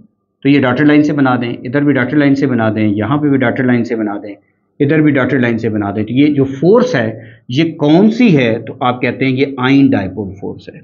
आइन डायपोल फोर्स मौजूद है। अब इसी तरीके से, बेटा क्लोराइड आइन है तो क्लोराइड आइन के साथ जो है, वो बेसिकली वाटर का ओपोजिट पोल जैसे मैं एक इधर भी बना दूँ तो ये वाटर का मालिक्यूल इसके भी सिक्स साइड से अट्रैक्ट हो जाएँगे, लेकिन वाटर का मालिक्यूल इस तरीके से जुड़ना शुरू हो जाएँगे। यहाँ से वाटर के मालिक्यूल इस साइड पे अटैच होना शुरू हो जाते हैं। ये इस तरह की हम शेप अगर हम बना दें तो ये इसके ऊपर चार्ज पार्शली पॉजिटिव है, इधर भी पॉजिटिव है तो यहाँ डॉटेड लाइन से बना दें। ये जो हमारे पास opposite pole of the polar solvent और आइन के दरमियान फोर्सेस हैं, इनको हम आइन डायपोल फोर्सेस कहते हैं। ये हम इसी तरीके से इधर से सारे के सारी ड्रा करना चाहें तो कर सकते हैं।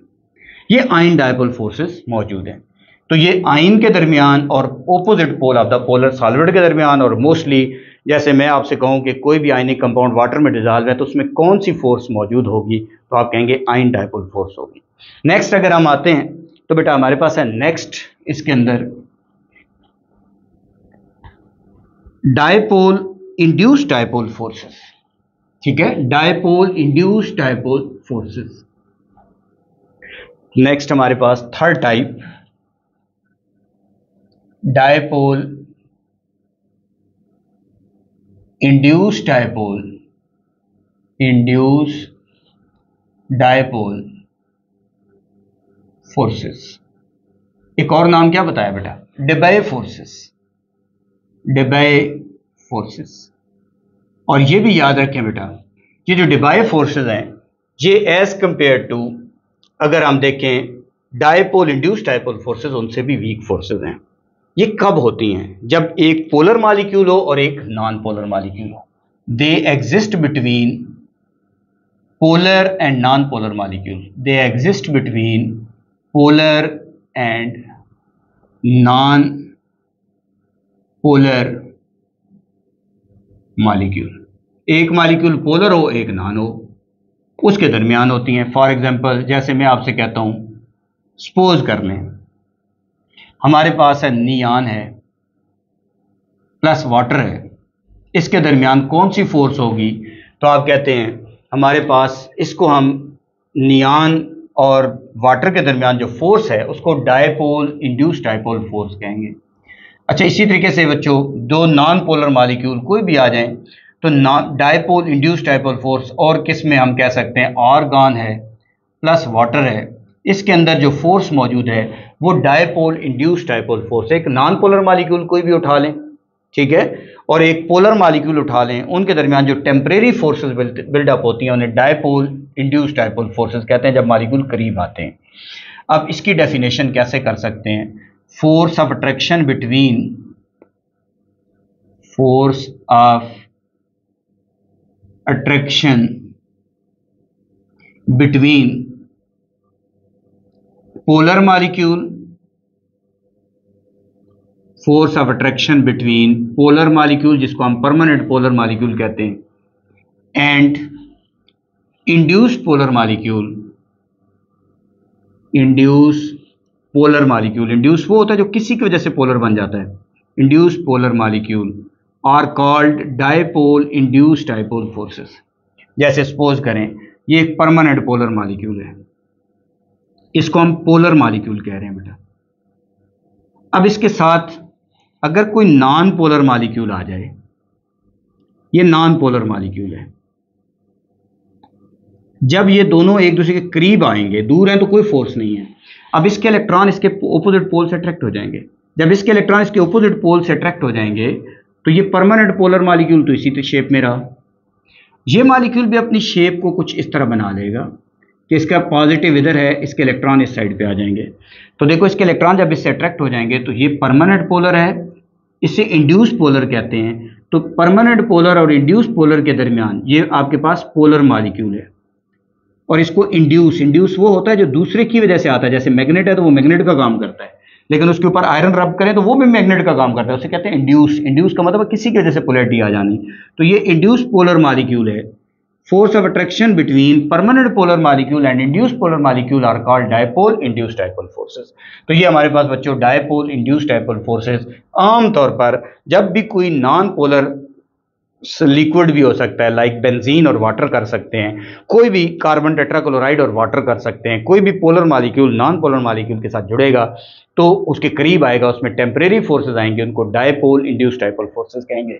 नेक्स्ट हमारे पास हम आते हैं बच्चों लंदन डिस्पर्जन फोर्सेज के ऊपर। कि लंदन डिस्पर्जन फोर्सेज हमारे पास क्या हैं और ये किन फैक्टर्स के ऊपर डिपेंड करती हैं? लंदन डिस्पर्जन फोर्सेस तो नेक्स्ट फोर्थ टाइप हमारे पास है। लंदन डिस्परियन फोर्सेस सिंपल भी इनको भी नाम दिया जाता है। लंदन डिस्परियन फोर्सेस सबसे वीकेस्ट टाइप है बेटा। लंदन डिस्परियन फोर्सेस और क्या नाम दे सकते हैं बेटा? इनको शॉर्ट लिव फोर्सेस भी लोग कहते हैं। इनको टेम्परेरी फोर्सेस भी कहते हैं। ठीक है? तो ये ऐसी फोर्सेज हैं, तमाम मालिक्यूल में कुछ ना कुछ परसेंटेज में पाई जाती हैं। जैसे मैं कहूँ वाटर में हाइड्रोजन बॉन्डिंग तो होती है। इसके अलावा कौन सी फोर्स आप कहेंगे लंदन डिस्पर्जन फोर्सेज अच्छा एचसीएल के मालिक्यूल में डायपोल डायपोल फोर्सेज होती हैं। इसके अलावा कौन सी होंगी? तो आप कहते हैं London dispersion forces London dispersion forces wide forces all तरह के मालिक्यूल के अंदर एग्जिस्ट करती है, कुछ ना कुछ परसेंटेज में। लेकिन क्योंकि ये नॉन पोलर मालिक्यूल में स्पेशली होती हैं, इसलिए हम नॉन पोलर के लिहाज से इसको डिस्कस करते होते हैं। इसका एक और नाम क्या है? हमारे पास एक नाम दे सकते हैं instantaneous dipole instantaneous dipole induced dipole induced dipole forces ये भी नाम दे सकते हैं instantaneous dipole induced dipole forces ऐसे लिखूं ताकि आपको नज़र भी आए, कुछ समझ भी आए। अब आपको पता है, इनको शार्ट लिव फोर्सेस भी कहते हैं, इनको टेम्परेरी फोर्सेस भी कहते हैं, इनको वीक फोर्सेस भी कहते हैं, और they exist between all type of molecule याद रखें, ठीक है? ऑल टाइप ऑफ़ मालिक्यूल्स के अंदर पाई जाती हैं। हाइड्रोजन बॉन्डिंग जहाँ मौजूद है, वहाँ पे इनकी भी कुछ ना कुछ परसेंटेज है। जहाँ डायपोल डायपोल फोर्सेस है, वहाँ पे इनकी भी कुछ परसेंटेज है। लेकिन स्पेशली किन मालिक्यूल्स के दरमियान होती हैं?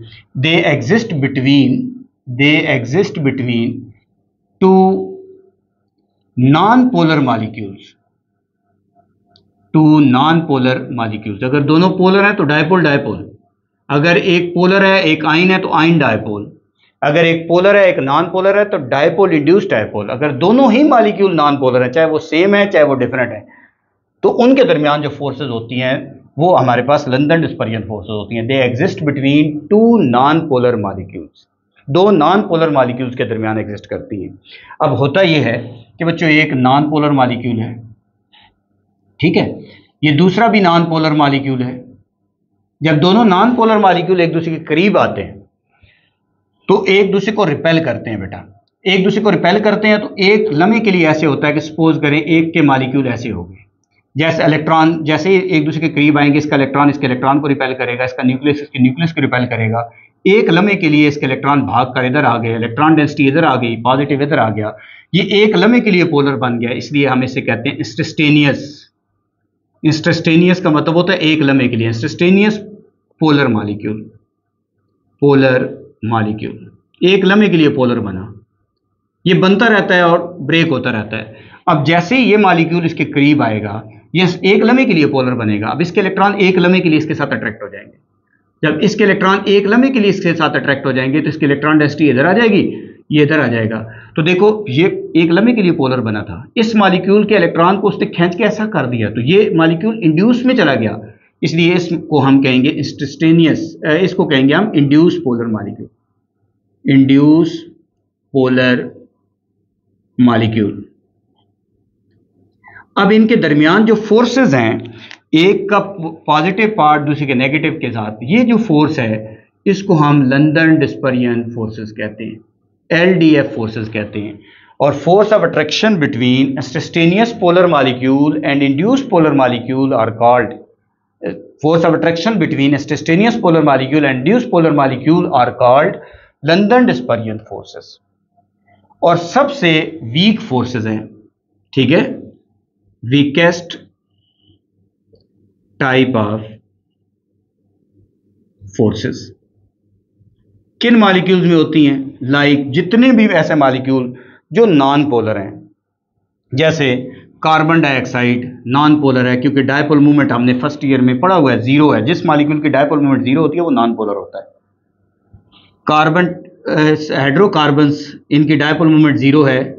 C C L four dipole movement zero है।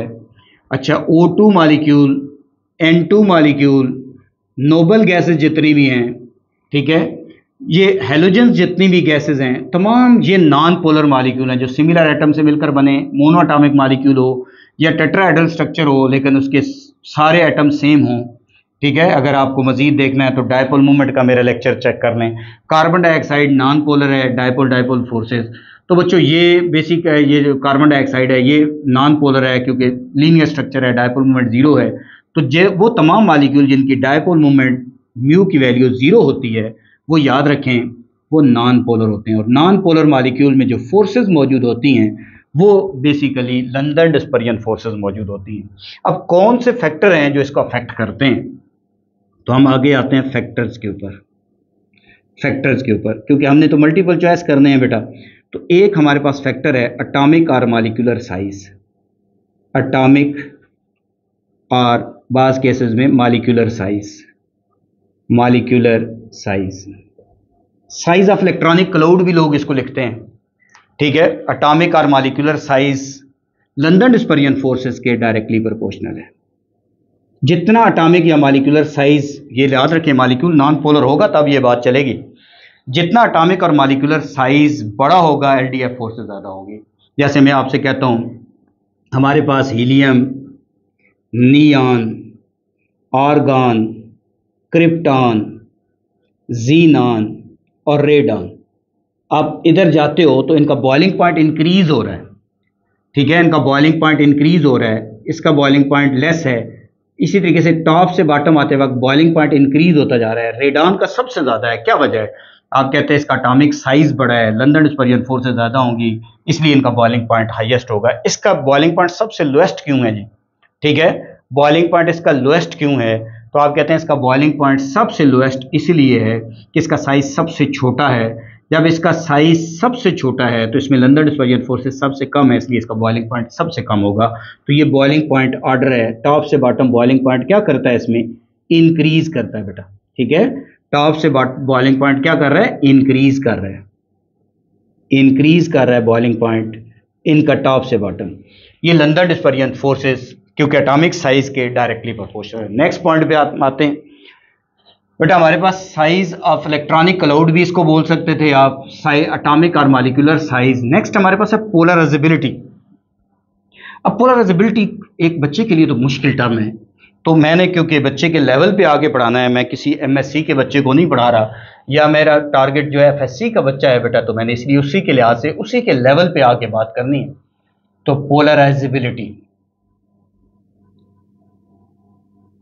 पोलराइजेबिलिटी क्या है? Distortion of charge on the molecule distortion distortion of charge on the molecule is called polarizability यानी किसी चीज़ के ऊपर चार्ज का फैल जाना, उसको पोलराइजेबिलिटी कहते हैं। और पोलराइजेबिलिटी याद रखें लंदन डिस्पर्जन फोर्सेस के डायरेक्टली प्रोपोर्शनल है। Directly proportional to London dispersion forces short short लिखता जा रहा हूँ। जितना ज़्यादा साइज़ बड़ा होगा पोलराइजेबिलिटी ज़्यादा होगी पोलराइजेबिलिटी ज़्यादा होगी लंदन डिस्पेरियन फोर्सेज ज़्यादा होंगी। जैसे मैं आपसे कहता हूँ, हमारे पास फ्लोरीन गैस है क्लोरीन गैस है ब्रोमीन लिक्विड है और आयोडीन सॉलिड है। ये गैस है, ये भी गैस है, ये आपके पास लिक्विड है, ये सॉलिड है। टॉप से बॉटम आते वक्त इनकी फ़िज़िकल स्टेट क्यों चेंज हो रही है? आप कहते हैं ये डायटॉमिक मॉलिक्यूल्स हैं ठीक है, ये डायटॉमिक मॉलिक्यूल हैं नॉन पोलर हैं। डायटॉमिक मॉलिक्यूल है नॉन पोलर भी हैं। और नॉन पोलर है तो साइज़ क्या कर रहा है? इंक्रीज कर रहा है। ठीक है, इनका टॉप से बॉटम साइज़ इंक्रीज कर रहा है। जब इनका साइज़ इंक्रीज कर रहा है तो लाजम आता है लंदन डिस्पेरियन फोर्सेज ज़्यादा हो रही हैं। पोलराइजेबिलिटी का मतलब क्या है? देखो, ये फ्लोरीन का एक मालिक्यूल है। क्लोरीन का मालिक्यूल है। ब्रोमीन का मालिक्यूल है। आयोडीन का मालिक्यूल है। अब अगर हम इस पे तो चलो चार्ज क्रिएट कर देते हैं पॉजिटिव इन पे नेगेटिव इस पे पॉजिटिव इस पे नेगेटिव इधर पॉजिटिव इधर नेगेटिव इसी तरीके से इधर भी पॉजिटिव आप चेक करते जा रहे हो कि पॉजिटिव नेगेटिव साइज़ बढ़ने से बढ़ते जा रहे हैं। एक मालिक्यूल अब इसका एक मालिक्यूल इसी का दूसरा इस तरह का मालिक्यूल साथ हो तो पॉजिटिव नेगेटिव ज़्यादा है इसलिए अट्रैक्शन ज़्यादा हो जाएगी। ठीक है? तो ये जितनी पोलराइजेबिलिटी ज़्यादा होगी लंदन डिस्पेरियन फोर्सेज जो है वो इतनी ज़्यादा हो जाएँगे। यही वजह है कि फ्लोरीन गैस है और आयोडीन जो है वो सॉलिड है। थर्ड और लास्ट इसकी जो प्रॉपर्टी है लंदन डिस्पर्जन फोर्सेज के लिहाज से आपको पता है, ये वो फोर्सेज हैं तमाम तरह के मालिक्यूल में एग्जिस्ट करती हैं। नेक्स्ट अगर हम देखें पोलराइजेबिलिटी के बाद तो हमारे पास इसमें आता है number of atom in a molecule number of atoms in molecule आपको पता है number of atom in a molecule अगर बढ़ेंगे तो एल डी एफ़ फोर्सेस बढ़ जाएँगे। तो number of atom in a molecules के साथ इसका क्या रिलेशन है? डायरेक्ट रिलेशन है। London number of atom in a molecule are directly proportional to LDF forces जितने नंबर ऑफ़ एटम ज़्यादा होंगे मालिक्यूल का साइज़ बड़ा होगा मालिक्यूल का साइज़ बड़ा होगा एल डी एफ़ फोर्सेज ज़्यादा होंगी, जैसे सपोज़ करते हैं। मैं आपके सामने लिखूं। तो बेटा हमारे पास सी वन से लेकर सी फोर तक के अल्केन्स बात हो रही है अल्केन्स की। आपने देखा होगा कि हम इसके लिए पढ़ते हैं कि ये गैसेस हैं। मीथेन, इथेन प्रोपेन ब्यूटेन ये गैसेस हैं। सी फाइव से लेकर सी सेवनटीन तक के जो अल्केन्स हैं, ये आपके पास लिक्विड्स हैं। जैसे पेट्रोल गैसोलीन आपको पता है पेट्रोल हाइड्रो का अल्केन में आता है। पेट्रोल में अगर मैं कहूँ गैसोलीन में कौन सी फोर्सेज हैं? लंदन डिस्पर्जन फोर्सेज हैं। वीक फोर्सेज हैं। अब इसी तरीके से सी एटीन और हायर अल्केन जितने भी हैं, वो आपके पास सारे के सारे वैक्सी सॉलिड हैं। तो क्या हो रहा है? नंबर ऑफ़ एटम बढ़े हैं साइज़ बढ़ा है साइज़ बढ़ने से L D F forces increase हो रही है। तो ये बच्चों अपने पास चीज़ें नोट करें। तो नेक्स्ट अभी हम इसके बाद स्टार्ट करते हैं। पहले आप इसको नोट कर लें। हाइड्रोजन बॉन्डिंग बेटा हाइड्रोजन बॉन्डिंग बेसिकली देखा जाए तो इसकी बड़ी आसान सी पहचान है। जैसे आपको पता है कि हाईली इलेक्ट्रोनेगेटिव एलिमेंट है फ्लोरीन ऑक्सीजन नाइट्रोजन और क्लोरीन को हम बॉर्डर लाइन केस कहते हैं बेटा, ठीक है? क्लोरीन जो है वो बॉर्डर लाइन केस है। बॉर्डर लाइन केस क्या होता है? अगर हाइड्रोजन बॉन्डेड मालिक्यूल आ जाए तो फिर आपने उसको निकाल देना है। और अगर हाइड्रोजन बॉन्डेड मालिक्यूल ना हो तो उसको आपने शामिल करना है। जब भी ये एलिमेंट हाइड्रोजन के साथ डायरेक्टली बॉन्डेड होंगे, उन मालिक्यूल में हाइड्रोजन बॉन्डिंग होगी। जैसे सपोज़ करें, मैं आपसे कहता हूँ एच एफ़ तो एच और एफ़ के दरमियान डायरेक्ट बॉन्ड बन रहा है हाइड्रोजन बॉन्डिंग होगी इस मालिक्यूल में। अब मैं आपसे कहता हूँ एच टू ओ तो देखो ऑक्सीजन हाइड्रोजन में डायरेक्ट बॉन्ड बन रहा है हाइड्रोजन बॉन्डिंग होगी। इसी तरीके से अगर मैं आपसे कहता हूँ, बेटा NH3 तो देखिए इसमें नाइट्रोजन हाइड्रोजन में बॉन्ड बन रहा है, इसमें हाइड्रोजन बॉन्डिंग मौजूद होगी। ठीक है? जहाँ पे भी हाईली इलेक्ट्रोनेगेटिव एलिमेंट हाइड्रोजन के साथ डायरेक्टली बॉन्डेड होगा हाइड्रोजन बॉन्डिंग आएगी। जैसे मैं आपसे कहता हूँ इथाइल अल्कोहल या मिथाइल अल्कोहल तो आप इसका स्ट्रक्चर देखोगे तो मिथाइल अल्कोहल का ये स्ट्रक्चर है हाइड्रोजन ऑक्सीजन के साथ बॉन्डेड हाइड्रोजन बॉन्डिंग है। इसी तरीके से कार्बोक्सिलिक एसिड है तो इनके स्ट्रक्चर में अगर आप देखें तो कार्बन की जो है वो ऑक्सीजन के साथ हाइड्रोजन आ रहा है हाइड्रोजन बॉन्डिंग होगी। मैं आपसे कहूँ कीटोन में तो आप कहते हैं कीटोन में हाइड्रोजन बॉन्डिंग नहीं होगी। अगर देखो कार्बन और हाइड्रोजन और ऑक्सीजन तो आ रहे हैं। लेकिन हाइड्रोजन बॉन्डिंग क्यों नहीं है? क्योंकि ऑक्सीजन हाइड्रोजन के साथ नहीं जुड़ा हुआ ऑक्सीजन जो है वो कार्बन के साथ जुड़ा हुआ। तो जिन मालिक्यूल में ऑक्सीजन नाइट्रोजन या फ्लोरीन डायरेक्टली हाइड्रोजन के साथ बॉन्डेड हो, उन मालिक्यूल्स में हाइड्रोजन बॉन्डिंग होगी। जबकि इस मालिक्यूल में कौन सी फोर्सेज होंगी? डी डी फोर्सेज होंगी। डायपोल डायपोल फोर्सेज मौजूद होंगी। बाकी सब मालिक्यूल में हाइड्रोजन बॉन्डिंग है। तो हाइड्रोजन बॉन्डिंग कौन सी फोर्स है? तो आप कहते हैं इलेक्ट्रोस्टैटिक फोर्स होती है एक हाइड्रोजन एटम के दरमियान, और दूसरा जो एलिमेंट है highly electronegative element fluorine oxygen या नाइट्रोजन उसका लोन पेयर इनके साथ अट्रैक्ट हो रहा होता है। तो आमतौर पर यह स्टेटमेंट भी कहीं आई होती है इलेक्ट्रोस्टैटिक इलेक्ट्रोस्टैटिक ये याद करनी है बेटा आपको, याद होनी चाहिए। Electrostatic force of attraction electrostatic force of attraction between hydrogen atom of one molecule वो मालिक्यूल सेम भी हो सकता है डिफरेंट भी। Hydrogen atom electrostatic force of attraction between hydrogen atom of one molecule and lone pair of lone pair of highly electronegative element highly electronegative element highly electronegative element electronegative को मैंने ऐसे लिख दिया। Like fluorine oxygen nitrogen of other molecule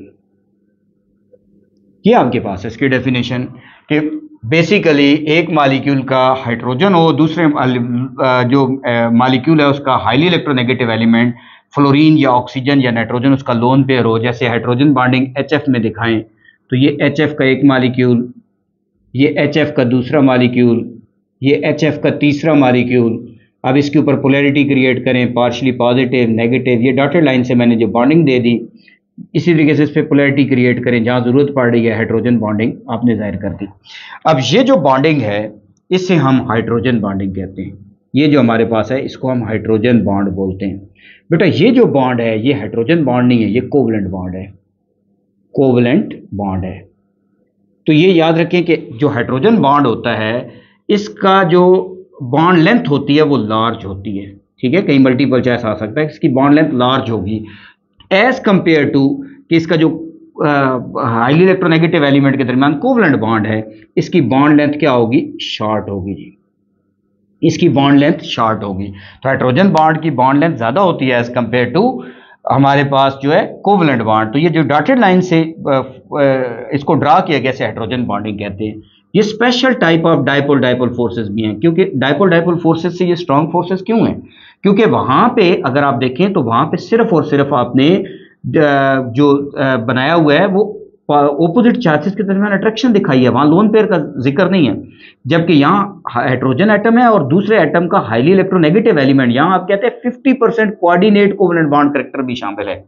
जब बच्चे इसमें 50 percent coordinate covalent bond character भी शामिल है तो ये तो लाइक बॉन्डिंग की तरफ़ चला गया, इसलिए ये फोर्सेस स्ट्रांग होती हैं और आमतौर पर इनकी जो स्ट्रेंथ होती है, वो अगर देखा जाए तो 12 से लेकर 40 किलो जॉल के दरमियान इनकी स्ट्रेंथ होती है जी इन फोर्सेज की। तो ये these are special type of dipole dipole forces they contain 50 percent coordinate covalent bond character ये लाइन भी याद रखने कि इसमें 50 percent coordinate covalent bond character भी होता है और इसमें हाईली इलेक्ट्रोनेगेटिव एलिमेंट का लोन पेयर दूसरे के साथ अट्रैक्ट हो रहा होता है। अब मैं आपसे कहता हूँ वाटर के अंदर तो बेटा अगर मैं वाटर में हाइड्रोजन बॉन्डिंग बनाना चाहूँ, जैसे मर्ज़ी बना दें, जैसे मैंने एक वाटर का मालिक्यूल यहाँ लिख दिया। ठीक है? एक वाटर का मालिक्यूल मैं यहाँ बना देता हूँ। एक वाटर का मालिक्यूल इधर बना दें। इसी तरीके से आप एक मालिक्यूल यहाँ बना दें और इसी तरीके से यहाँ बना दिए। सो ऑन आप इसको ड्रा करते जाए। अब इसके ऊपर आप कहता है लोन पेयर है। यहाँ पे लोन पेयर है। अब इसके ऊपर पोलैरिटी क्रिएट होगी पार्शली पॉजिटिव इस पर भी पार्शली पॉजिटिव ये एक लोन पेयर इसके साथ अट्रैक्ट हो जाएगा और दूसरा लोन पेयर जो है, वो इसके साथ अट्रैक्ट हो जाएगा। ये ऐसे हो जाएगा हाइड्रोजन बॉन्डिंग हो जाएगी। अब इसके भी दो लोन पेयर हैं। तो लाजमी बात है, इसके भी दो लोन पेयर हैं तो एक हाइड्रोजन बॉन्ड इसका इधर बन जाएगा, एक हाइड्रोजन बॉन्ड इसका इसके साथ बन जाएगा। आप इसी तरीके से सो ऑन आप उधर भी दिखा सकते हैं। तो ये हमारे पास इधर भी हाइड्रोजन बॉन्डिंग हम दिखाना चाहें, ये इस मालिक्यूल का है। अब इसका जो हमारे पास अगर हमने इसको ऐसे ड्रा कर दिया तो एक मालिक्यूल के अंदर कितने हाइड्रोजन बॉन्ड बन गए बच्चों? अगर आप देखें तो इस मालिक्यूल के साथ एक हाइड्रोजन बॉन्ड ये बना हुआ है और एक ऑक्सीजन के साथ ये बना हुआ है। अब इसके साथ एक बना हुआ है, ये इसके साथ भी अट्रैक्ट हो सकता है। अब इसी तरीके से इसके नीचे हम इसको ड्रा कर दें तो हम इसके नीचे इसको और सो ऑन बना सकते हैं। तो ये हाइड्रोजन बॉन्डिंग इस तरीके से इन मालिक्यूल्स के दरमियान होती है। तो यहाँ पे अगर मैं आपसे कहूँ, पर मालिक्यूल कितने हाइड्रोजन बॉन्ड बना रहा है तो देखें एक हाइड्रोजन बॉन्ड देखो, दो हाइड्रोजन मौजूद हैं, दो ही लोन पेयर मौजूद हैं, इसलिए दो हाइड्रोजन बॉन्ड बन रहे हैं। यहाँ हाइड्रोजन एक है लोन पेयर तीन है तो एक हाइड्रोजन बॉन्ड बन रहा है। अब अमोनिया के केस में अगर मैं आपसे कहूँ कि वहाँ पे कितने हाइड्रोजन बॉन्ड बनेंगे तो सो आन आप उसका स्ट्रक्चर भी ड्रा कर सकते हो। ये अमोनिया का एक मालिक्यूल है। अगर ये भी अमोनिया का एक मालिक्यूल है, और सो आन मैं इसको बना दूँ टाइम को वेस्ट नहीं करते, इसके ऊपर एक लोन पेयर भी होता है। अब देखिए, इसके ऊपर पार्शली पॉजिटिव एक हाइड्रोजन बॉन्ड बनेगा। वजह क्या है? लोन पेयर एक है। अब ये क्यों नहीं ऐसे कर दिया कि इधर पॉजिटिव अट्रैक्ट हो जाए? आप कहते हैं लोन पेयर और हाइड्रोजन का बराबर होना शर्त है। इसीलिए एक हाइड्रोजन तीन है लोन पेयर एक है, एक हाइड्रोजन बॉन्ड फॉर्म होगा। यहाँ हाइड्रोजन एक है लोन पेयर तीन है, एक हाइड्रोजन बॉन्ड फॉर्म होगा। यहाँ लोन पेयर भी दो हैं और पर मालिक्यूल के पास हाइड्रोजन भी दो हैं, इसलिए दो हाइड्रोजन बॉन्ड जो है वो फॉर्म होंगे। तो यहाँ पे भी हाइड्रोजन बॉन्डिंग होगी और इसकी बॉन्ड लेंथ आपको पता है ज़्यादा होती है as compare to covalent bond तो हाइड्रोजन बॉन्डिंग इन मॉलिक्यूल्स के दरमियान होगी। हाइड्रोजन बॉन्डिंग जितनी ज़्यादा इलेक्ट्रोनेगेटिविटी डिफरेंस बढ़ेगा हाइड्रोजन बॉन्डिंग बढ़ेगी। मुझे याद आ रहा है कि 2012 या तेरह का एम डी कैड का पेपर था। और उसमें एक ऑर्डर आया था बच्चों से, बल्कि 2022 में भी ये पूछा गया कि ये एक ऑर्डर पूछा था उसने बॉइलिंग पॉइंट का। तो याद रखिए बेटा बॉइलिंग पॉइंट ऑर्डर ये है कि वाटर का बॉइलिंग पॉइंट ज़्यादा होता है एज़ कंपेयर टू किससे? एच एफ़ से। एच एफ़ का बॉइलिंग पॉइंट ज़्यादा होता है एज़ कंपेयर टू अमोनिया और अमोनिया का बॉइलिंग पॉइंट ज़्यादा होता है as compare to H F H C L वजह क्या है? आप कहते हैं इसमें कितने हाइड्रोजन बॉन्ड बन रहे हैं? आप कहते हैं पर मालिक्यूल टू हाइड्रोजन बॉन्ड बना रहे हैं। यहाँ दो हाइड्रोजन बॉन्ड बन रहे हैं। ये हाइड्रोजन बॉन्डिंग स्ट्रांग है, इसलिए बॉइलिंग पॉइंट हाई होगा इसका। इसके अंदर पर मालिक्यूल कितने हाइड्रोजन बॉन्ड बना रहा है? वन हाइड्रोजन बॉन्ड बना रहा है।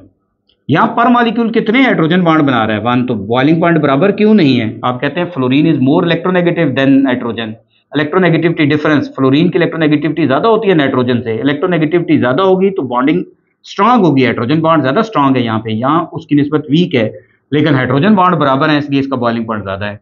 अब मैं आपसे कहता हूँ, यहाँ पे आप कहते हैं, यहाँ पे बेसिकली ये बॉर्डर लाइन केस है। इसमें, इस वक्त हम कहते हैं डी डी फोर्सेज हैं। Dipole dipole forces hydrogen bonding strong होती है डायपोल डायपोल फोर्सेज से। यही वजह है कि हमारे पास जो बॉइलिंग पॉइंट है वाटर का हाईएस्ट होगा और एचसीएल का जो है वो कम होगा। ये हमारे पास हाइड्रोजन बॉन्डिंग है। वैसे एक और क्वेश्चन भी पूछा जा सकता है कि अगर मैं आपसे कहूँ, इनका बॉइलिंग पॉइंट ऑर्डर क्या होगा? H F H C L H B R H I तो याद रखें बेटा, इसमें तो हाइड्रोजन बांटेंगे, इसका तो हाईएस्ट होगा। इसका तो सबसे हाईएस्ट होगा। अब इलेक्ट्रोनेगेटिव आपको पता है ये हमारे पास मालिक्यूल है पोलर हैं। लेकिन याद रखें, इसके अंदर पोलर के साथ साथ एक मैंने अभी आपको बताया था वंडरवाल फोर्सेस जो ऑल टाइप ऑफ़ मालिक्यूल में एग्जिस्ट करती हैं। तो यहाँ पे साइज़ बढ़ता जा रहा है। अगर पोलर भी हैं डायपोल डायपोल फोर्सेस भी हैं, लेकिन इनके साथ लंदन डिस्परियन फोर्सेस भी हैं। तो जब लंदन डिस्परियन फोर्सेस हैं साइज़ बढ़ है। साइज़ बढ़ने की वजह से लाजमी बात है, इनका लंदन डिस्परियन फोर्सेस बढ़ेंगी तो बॉइलिंग पॉइंट बढ़ेगा।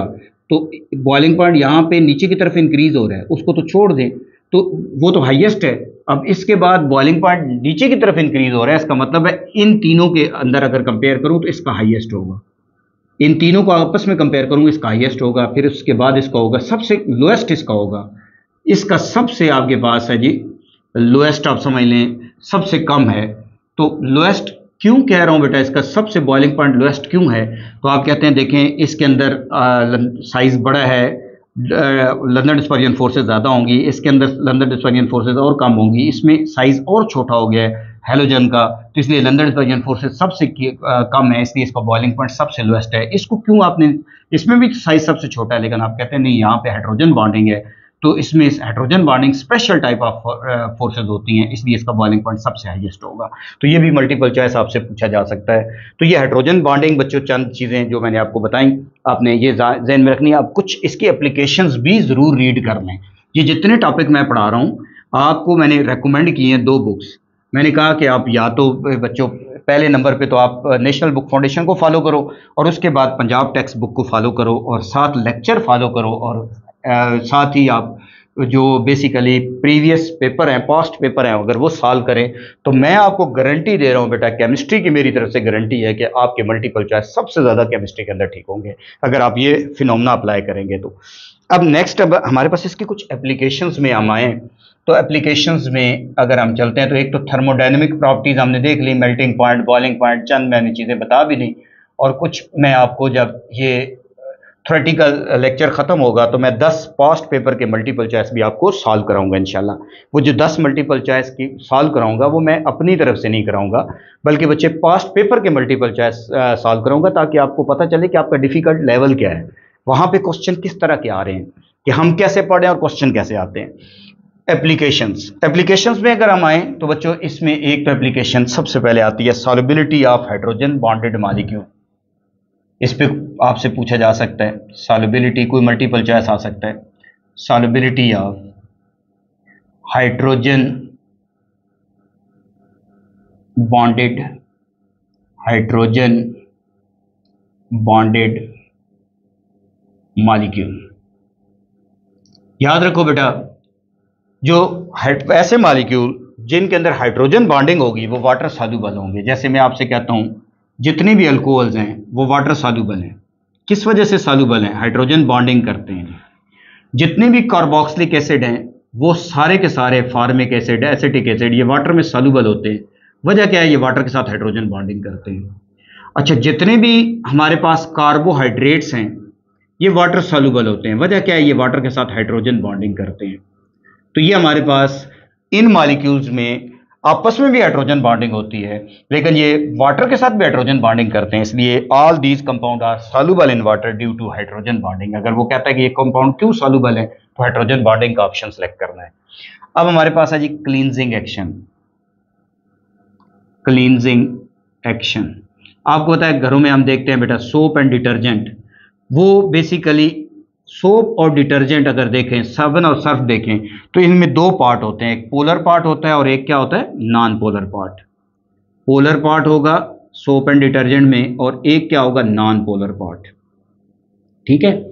नॉन पोलर पार्ट जो पोलर पार्ट होता है, वो बच्चों वाटर के साथ क्या करता है? हाइड्रोजन बॉन्डिंग ये पोलर पार्ट वाटर के साथ हाइड्रोजन बॉन्डिंग करता है जी विद वाटर ये वाटर के साथ हाइड्रोजन बॉन्ड कर बॉन्डिंग करता है। नॉन पोलर पार्ट जो बेसिकली एक बुरश का काम करता है, ये ऑयल वगैरह या ग्रीस वगैरह या इस तरह की जितनी भी चीज़ें नॉन पोलर होती हैं, उनको डिजॉल्व करता है और इस वजह से जो साबन है, उससे कपड़े जो है वो साफ़ हो जाते हैं। इसी तरीके से हाइड्रोजन बॉन्डिंग इसका मतलब है क्लींजिंग एक्शन के अंदर भी शामिल होती हैं।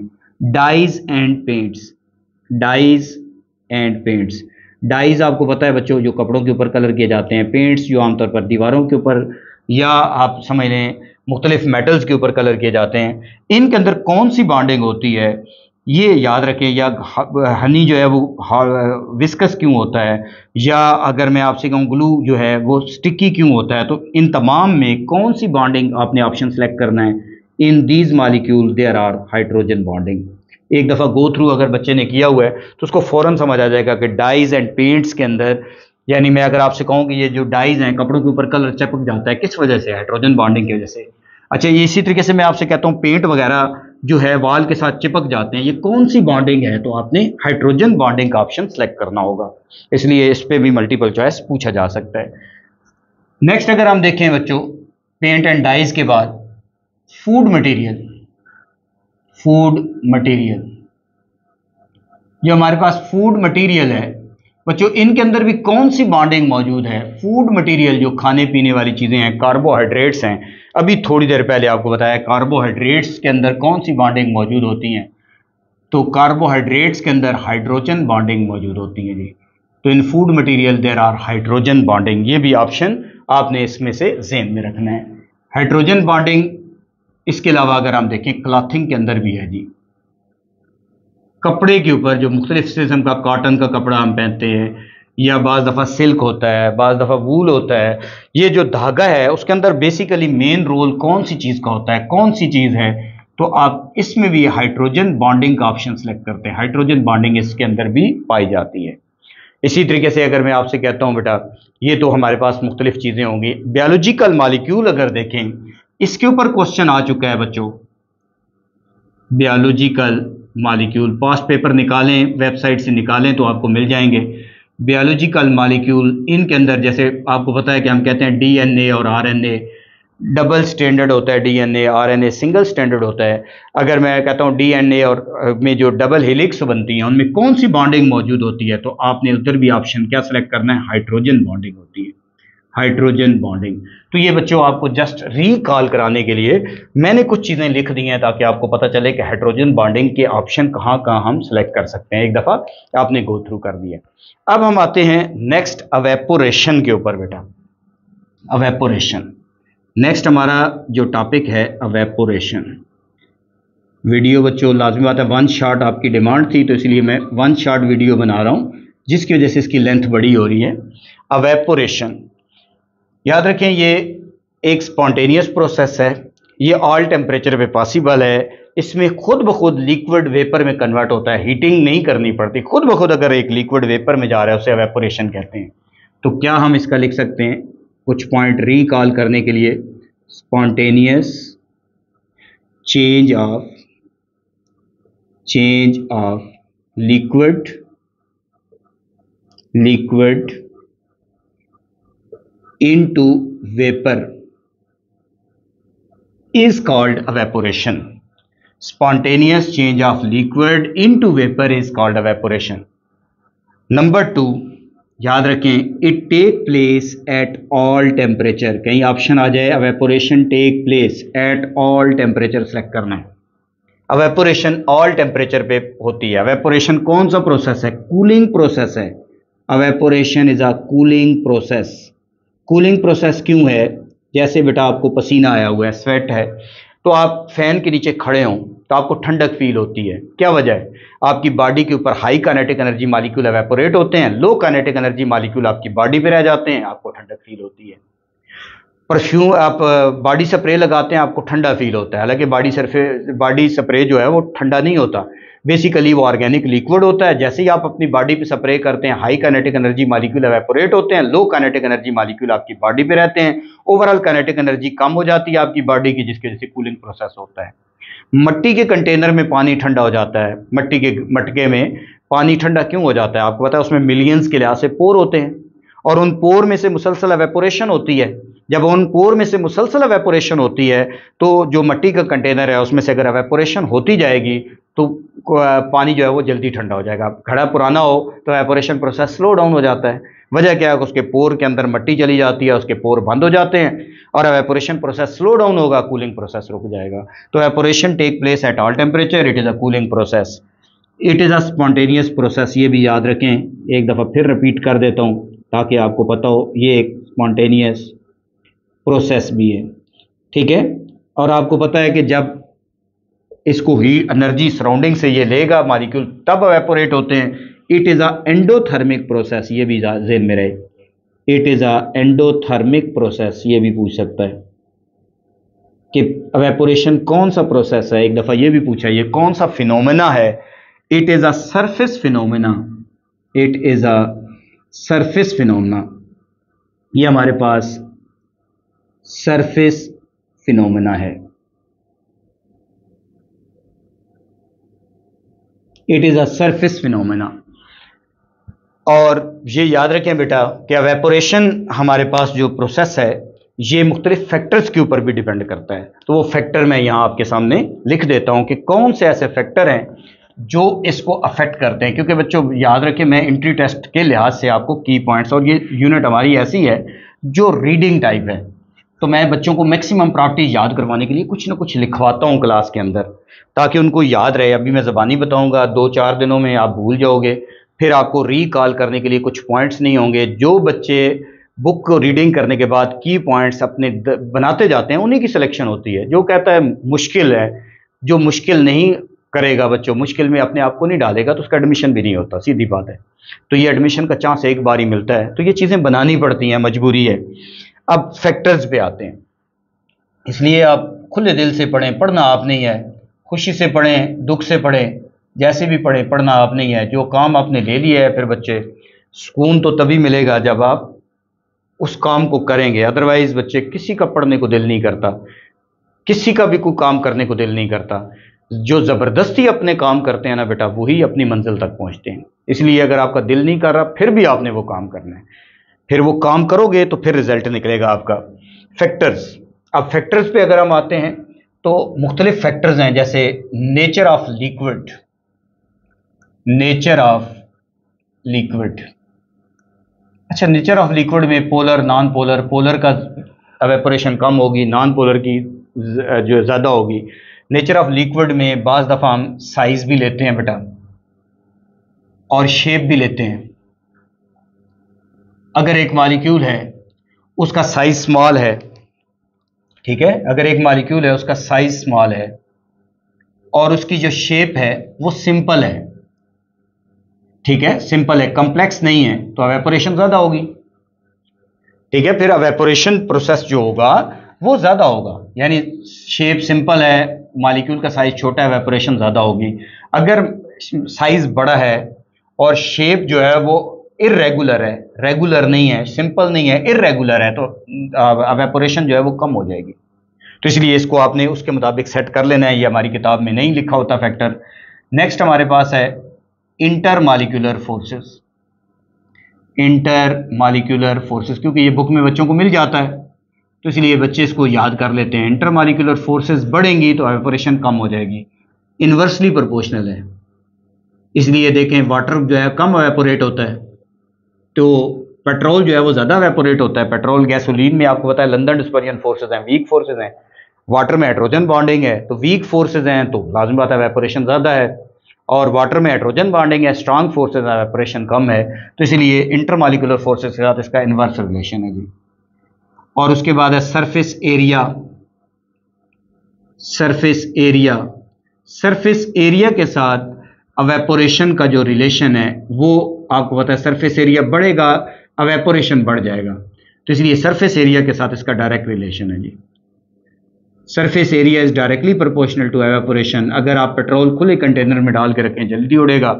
क्लोज कंटेनर में डाल के रखें, कम उड़ेगा। या घरों में आप फिनोमना देखते हो कि लेडीज़ क्या करती हैं? बेटा, जो कपड़े होते हैं, वो ज़्यादा फैला के डालते हैं। क्यों डालते हैं? सरफेस एरिया बढ़ जाता है वेपोरेशन बढ़ जाता है। अगर वही कपड़े इकट्ठे करके डाल दिए जाएँ किसी जगह पे तो वेपोरेशन प्रोसेस स्लो डाउन हो जाएगा और अवेपोरेशन प्रोसेस सरफेस एरिया कम होगा अवेपोरेशन रुक जाएगी। तो सरफेस एरिया के साथ अवेपोरेशन का डायरेक्ट रिलेशन है जी। और नेक्स्ट फैक्टर हमारे पास है इंटरमालिकुलर फोर्सेस सरफेस एरिया के अलावा अगर हम आते हैं तो हमारे पास एक फैक्टर और है ह्यूमिडिटी ह्यूमिडिटी ह्यूमिडिटी जो हमारे पास है, जितनी ज़्यादा होगी अवेपोरेशन इतनी कम होगी। इन्वर्स रिलेशन है। ठीक है? हब्स होती है सावन के महीने में, क्योंकि हवा में नमी बहुत ज़्यादा हो जाती है और अवेपोरेशन प्रोसेस रुक जाता है और अवेपोरेशन प्रोसेस रुकेगा कूलिंग प्रोसेस रुकेगा घुटन फील होगी, ठीक है?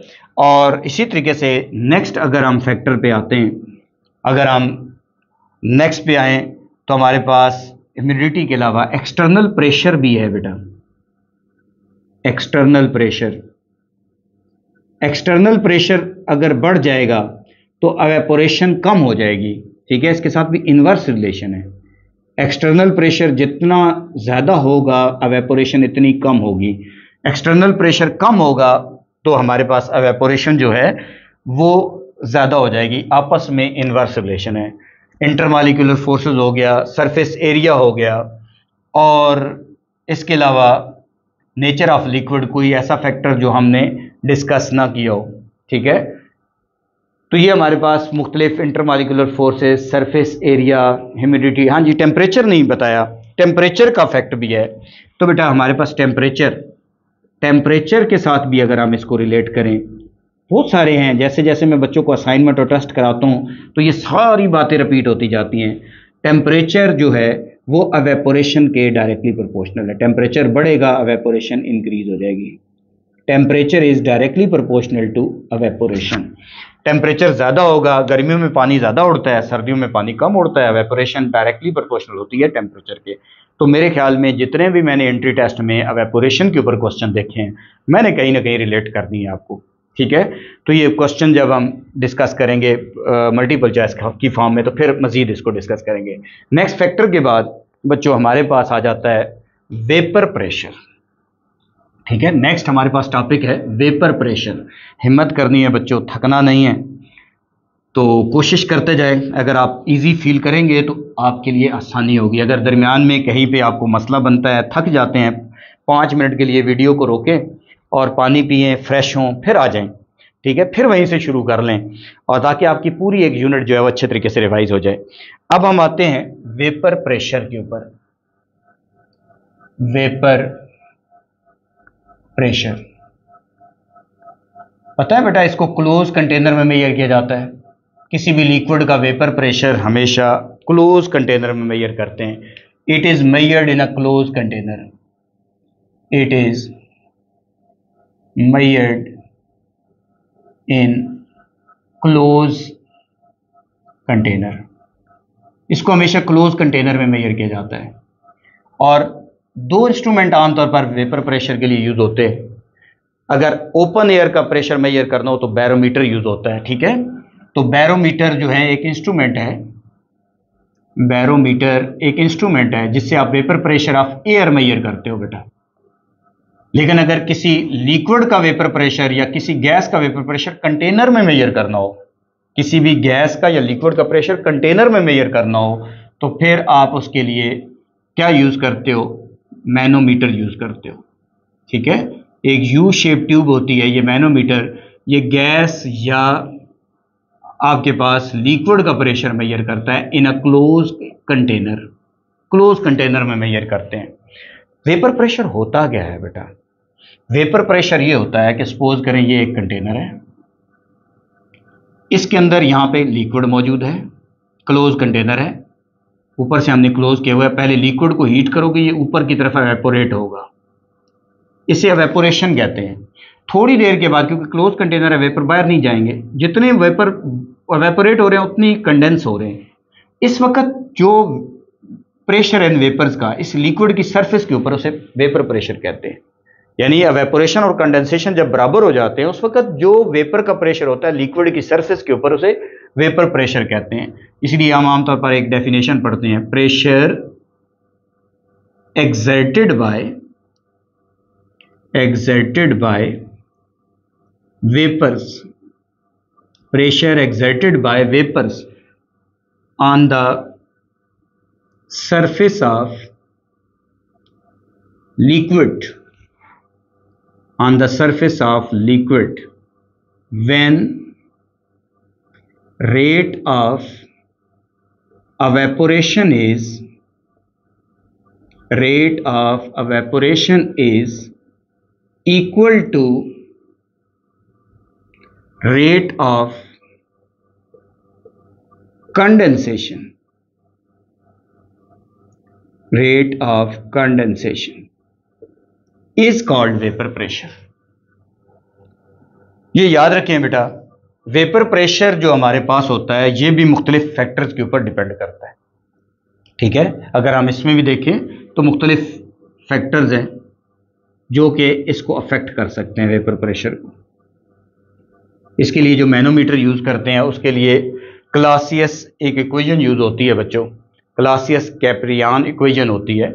वो जो इक्वेशन होती है, वो बेसिकली इसमें हम ये यूज़ करते हैं कि प्रेशर जो होगा टोटल पी ए प्लस क्या होगा? आपके पास जो, उस सब्सटेंस का जो भी हमारे पास प्रेशर होगा, उसको हम डेल्टा एच हाइट दो मरकरी लेवल के दरमियान लिखते हैं, वो हम मेजर करते हैं। जैसे इस तरह की यू शेप ट्यूब होती है, जो बैरोमीटर होता है तो इन दो मरकरी इस, यहाँ पे इसमें जो भी मरकरी का लेवल है, जैसे ही इसके ऊपर प्रेशर बढ़ता है ना लिक्विड का तो ये लेवल में जो डिफरेंस आता है ना, ये जो डिफरेंस आता है, इस डिफरेंस को हम डेल्टा एच कहते हैं। ये हम डेल्टा एच यहाँ पुट करते होते हैं और पी ए एटमोस्फेरिक प्रेशर होता है और इसके ज़रिए हम यहाँ प्रेशर निकालते हैं। अब अगर हम आते हैं मुख्तलिफ़ फैक्टर्स के ऊपर तो फैक्टर मुख्तलिफ़ हैं। जैसे सबसे पहले आते हैं inter molecular forces inter molecular forces जो इंटर मालिकुलर फोर्सेस होती हैं, वो वेपर प्रेशर के इन्वर्सली प्रोपोर्शनल है। Inversely proportional to vapour pressure vapour pressure को मैं वीपी लिख रहा हूँ। जितना ज़्यादा इंटरमालिकुलर फोर्सेज होंगी, लाजम बात है, इतने कम मालिक्यूल अवेपोरेट होंगे, जितने कम अवेपोरेट होंगे, इतने कम कंडेंस होंगे और वेपर प्रेशर कम होगा। सेकेंड फैक्टर हमारे पास है इंटरमालिकुलर फोर्सेज के बाद नेक्स्ट फैक्टर जो हमारे पास डिपेंड करता है, जिसके ऊपर है वो temperature temperature vapour pressure temperature के डायरेक्टली प्रोपोर्शनल होता है बेटा। Vapour pressure is directly proportional to temperature इसी तरीके से ह्यूमिडिटी उसके साथ भी आप इसको रिलेट कर सकते हो। और, जो ह्यूमिडिटी के साथ इसका क्या रिलेशन बनेगा? इनवर्स रिलेशन बनेगा। ठीक है? ह्यूमिडिटी के साथ इसका इन्वर्स रिलेशन बनेगा। एक्सटर्नल प्रेशर जितना उस कंटेनर पे बढ़ा दोगे, इसके साथ भी इसका इन्वर्स रिलेशन बनेगा। ठीक है? तो एक्सटर्नल प्रेशर के साथ इसको रिलेट करें। एक्सटर्नल प्रेशर क्लोज कंटेनर तो है, लेकिन एक्सटर्नल प्रेशर के साथ अगर हम इसको रिलेट करते हैं तो vapour pressure is inversely proportional to external pressure external pressure बढ़ेगा वेपर प्रेशर कम हो जाएगा। किन फैक्टर के ऊपर डिपेंड ही नहीं करता? ये भी एक दफ़ा क्वेश्चन था। मेरे ख्याल में 2022 का अगर आप एम डी कैट का पेपर देखें तो वहाँ पे उसने पूछा था कि vapour pressure does not depend upon नीचे फैक्टर दिए हुए थे, उनमें एक नाम ये भी यूज़ हुआ था, ठीक है? तो बच्चों, वेपर प्रेशर किन फैक्टर पर डिपेंड नहीं करता? Vapour pressure does not depend upon vapour pressure does not depend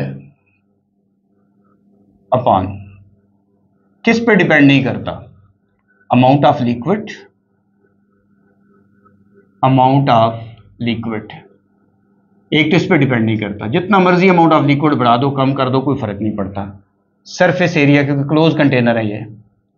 surface area पे डिपेंड नहीं करता। तीसरा फैक्टर कौन सा है? हमारे पास amount of liquid surface area volume of container पे भी डिपेंड नहीं करता। वॉल्यूम ऑफ़ कंटेनर इन तीनों में से कोई एक चीज़ वहाँ पे 2022 के पेपर में मौजूद थी। मेरे ख्याल में अमाउंट ऑफ़ लिक्विड था, लेकिन फिर भी मजीद इसको आप तो ने 2022 का पेपर आप पास निकाल लें, आपको नज़र आ जाएगा। Vapour pressure does not depend upon amount of liquid surface area volume of the container इनके ऊपर वेपर प्रेशर डिपेंड नहीं करता। तो बेटा, ये वेपर प्रेशर में से कुछ चीज़ें जो आपने याद करनी है। अब हम आते हैं बॉइलिंग पॉइंट के ऊपर। ठीक है? बॉइलिंग पॉइंट ये क्या होता है? बॉइलिंग पॉइंट याद रखो बेटा बॉइलिंग पॉइंट वो टेम्परेचर होता है जिसके ऊपर vapour pressure of the liquid और एक्सटर्नल प्रेशर आपस में बराबर हो जाते हैं, उसे बॉइलिंग पॉइंट कहते हैं। ठीक है? Temperature at which vapour pressure of liquid become equal to become equal to external pressure atmospheric pressure भी इसको लिख सकते हैं। External pressure is called boiling point वो टेम्परेचर जिसके ऊपर vapour pressure of the liquid become equal to external pressure is called boiling point याद रखें बेटा, अगर हम एक्सटर्नल प्रेशर बढ़ाएँगे तो बॉइलिंग पॉइंट बढ़ जाएगा, ठीक है?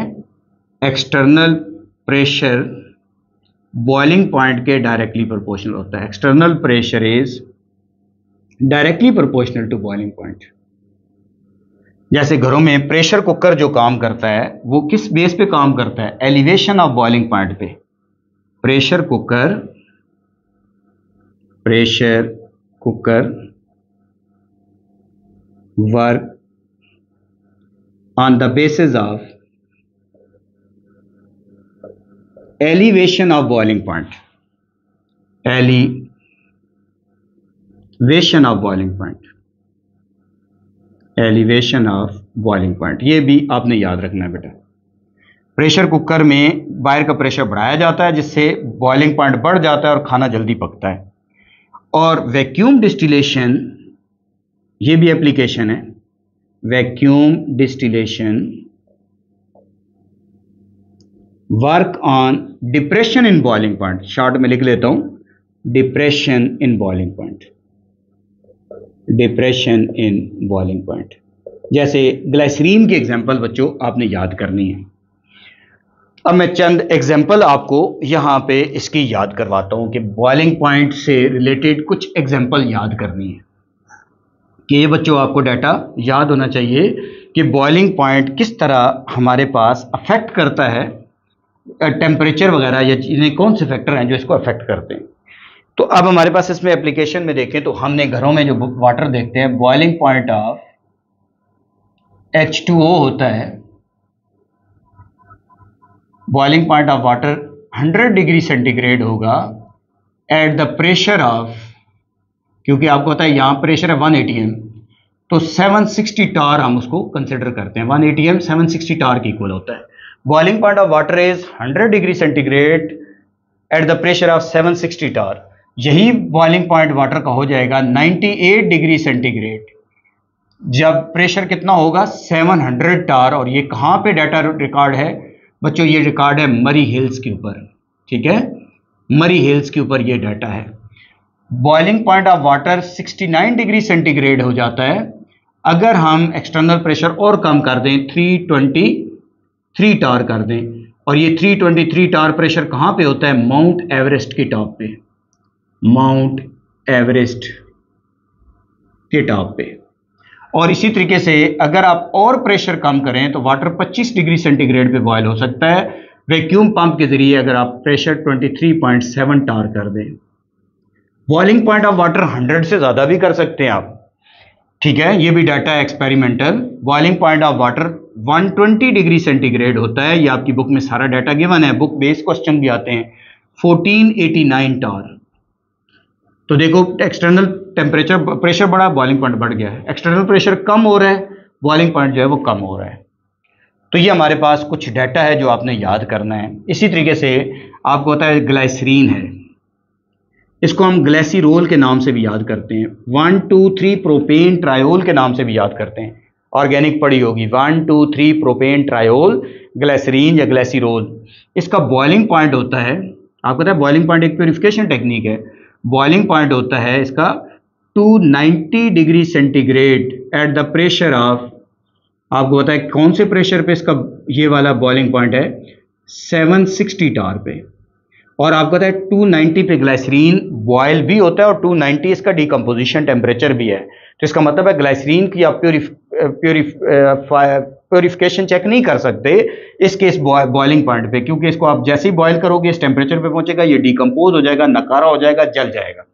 तो आपने क्या करना है? वैक्यूम पंप के ज़रिए इसका प्रेशर रिड्यूस कर दो। 50 टार ये पे पास्ट पेपर में क्वेश्चन है बेटा। 50 टार कर दो तो यही ग्लाइसरीन जो आपके पास 290 पे बॉयल होती है, वो 210 डिग्री सेंटीग्रेड पे बॉयल होगी। कुछ बुक में 120 भी लिखा हुआ है। आपने एग्जैक्ट एंट्री टेस्ट के लिए ये डाटा याद करना है। और इसको मैंने, ये याद है कि उसने कैलवन में दिया था 273 ऐड कर लेना इसको तो कैलवन में कन्वर्ट हो जाएगा 483 कैलवन हो जाएगा।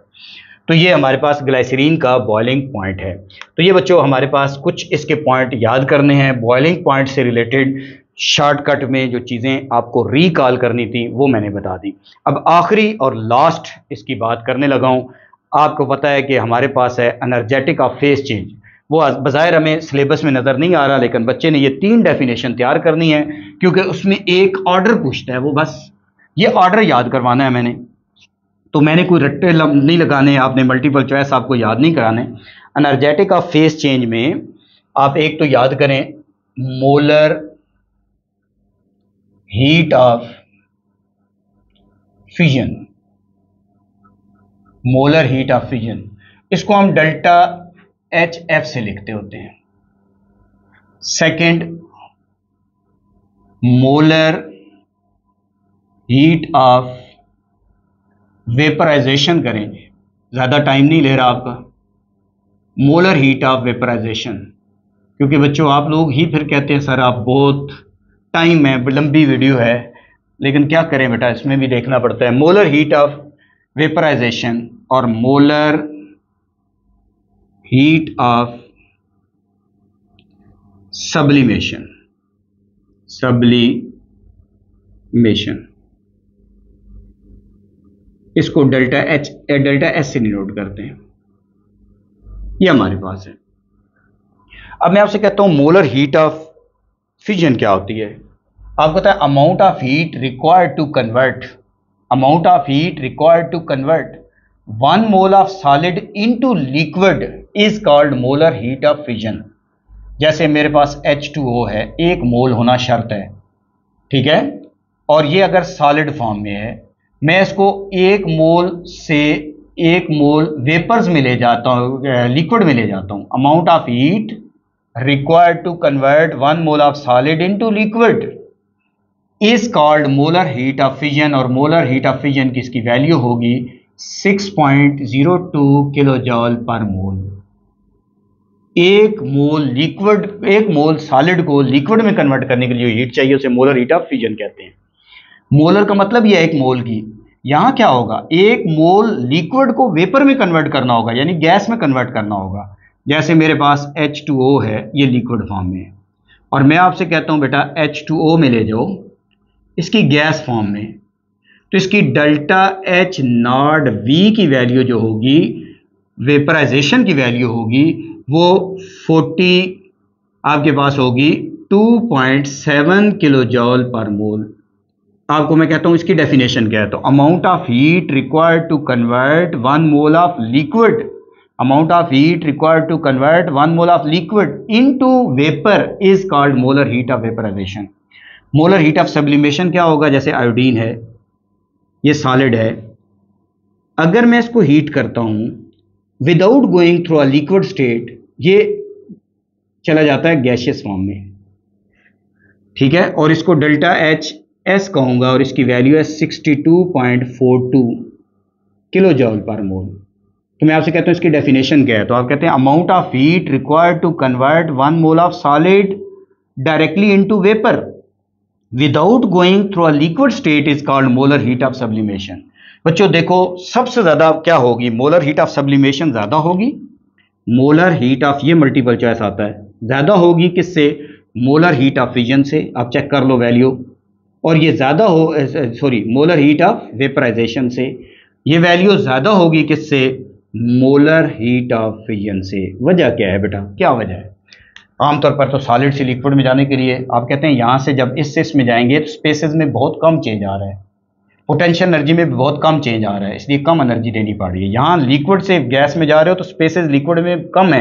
गैसेस में बहुत ज़्यादा है। यहाँ इंटरमालिकुलर डिस्टेंस ज़्यादा इंक्रीज हो रहा है और पोटेंशियल एनर्जी में भी ज़्यादा चेंज आ रहा है, इसलिए वैल्यू और बढ़ गई। यहाँ आप सॉलिड से गैस में जा रहे हो तो इंटरमालिकुलर स्पेसेस और बहुत ज़्यादा, यहाँ बहुत ज़्यादा स्पेसेस इंक्रीज करने पड़ रहे हैं। और इसी तरीके से पोटेंशियल एनर्जी में भी बहुत ज़्यादा चेंज आ रहा है तो इसलिए इसकी वैल्यू हाईएस्ट होगी। तो molar heat of sublimation is greater than molar heat of vaporisation and molar heat of vaporisation is greater than molar heat of fusion तो उम्मीद है कि बेटा आप लोगों को मेरा लेक्चर अच्छा समझ आ गया होगा। तो ये ज़्यादातर बच्चों, आपको पता है कि उन स्टूडेंट्स के लिए है जो काफ़ी दूर से स्टूडेंट्स आते हैं और मुझे मिलते हैं, कहीं पे आके मुलाकात होती है उनसे। तो वो कहते हैं, सर, हमने आपकी वीडियो से बहुत ज़्यादा फ़ायदा उठाया। हम ऐसी जगहों पे मौजूद हैं, क्योंकि मैं तो पिंडी इस्लामाबाद में रहता हूँ। तो यहाँ पिंडी इस्लामाबाद में बहुत सारे लोग ऐसे हैं बच्चों जो एंट्री टेस्ट पढ़ा रहे हैं और बच्चों को मौका भी मिल जाता है। लेकिन वो बच्चे जो बहुत दूर दराज इलाकों में मौजूद हैं और वहाँ पे इंट्री टेस्ट पढ़ाने वाला कोई बंदा मौजूद नहीं है तो उस बच्चे के पास आखिरी उम्मीद जो है वो ये यूट्यूब चैनल होता है। तो मेरी कोशिश है बेटा कि आपको केमिस्ट्री का पोर्शन मैं अच्छे तरीके से करा दूँ। तो उम्मीद है बच्चों, आपको चीज़ें अच्छी समझ आ रही होंगी। नेक्स्ट जो मैं वीडियो बनाऊँगा, वो वीडियो इस चीज़ की होगी कि मैं इसके हर एक, क्योंकि मैं बहुत ज़्यादा डिटेल में तो नहीं जा सकता बच्चों मल्टीपल चॉइस बहुत ज़्यादा नहीं करा सकता। तो हर यूनिट के साथ मैं दस पास्ट पेपर के मल्टीपल चॉइस सॉल्व कराया करूँगा। तो अगली यूनिट में मैं दस मल्टीपल चॉइस आपको सॉल्व कराऊँगा। Thank you very much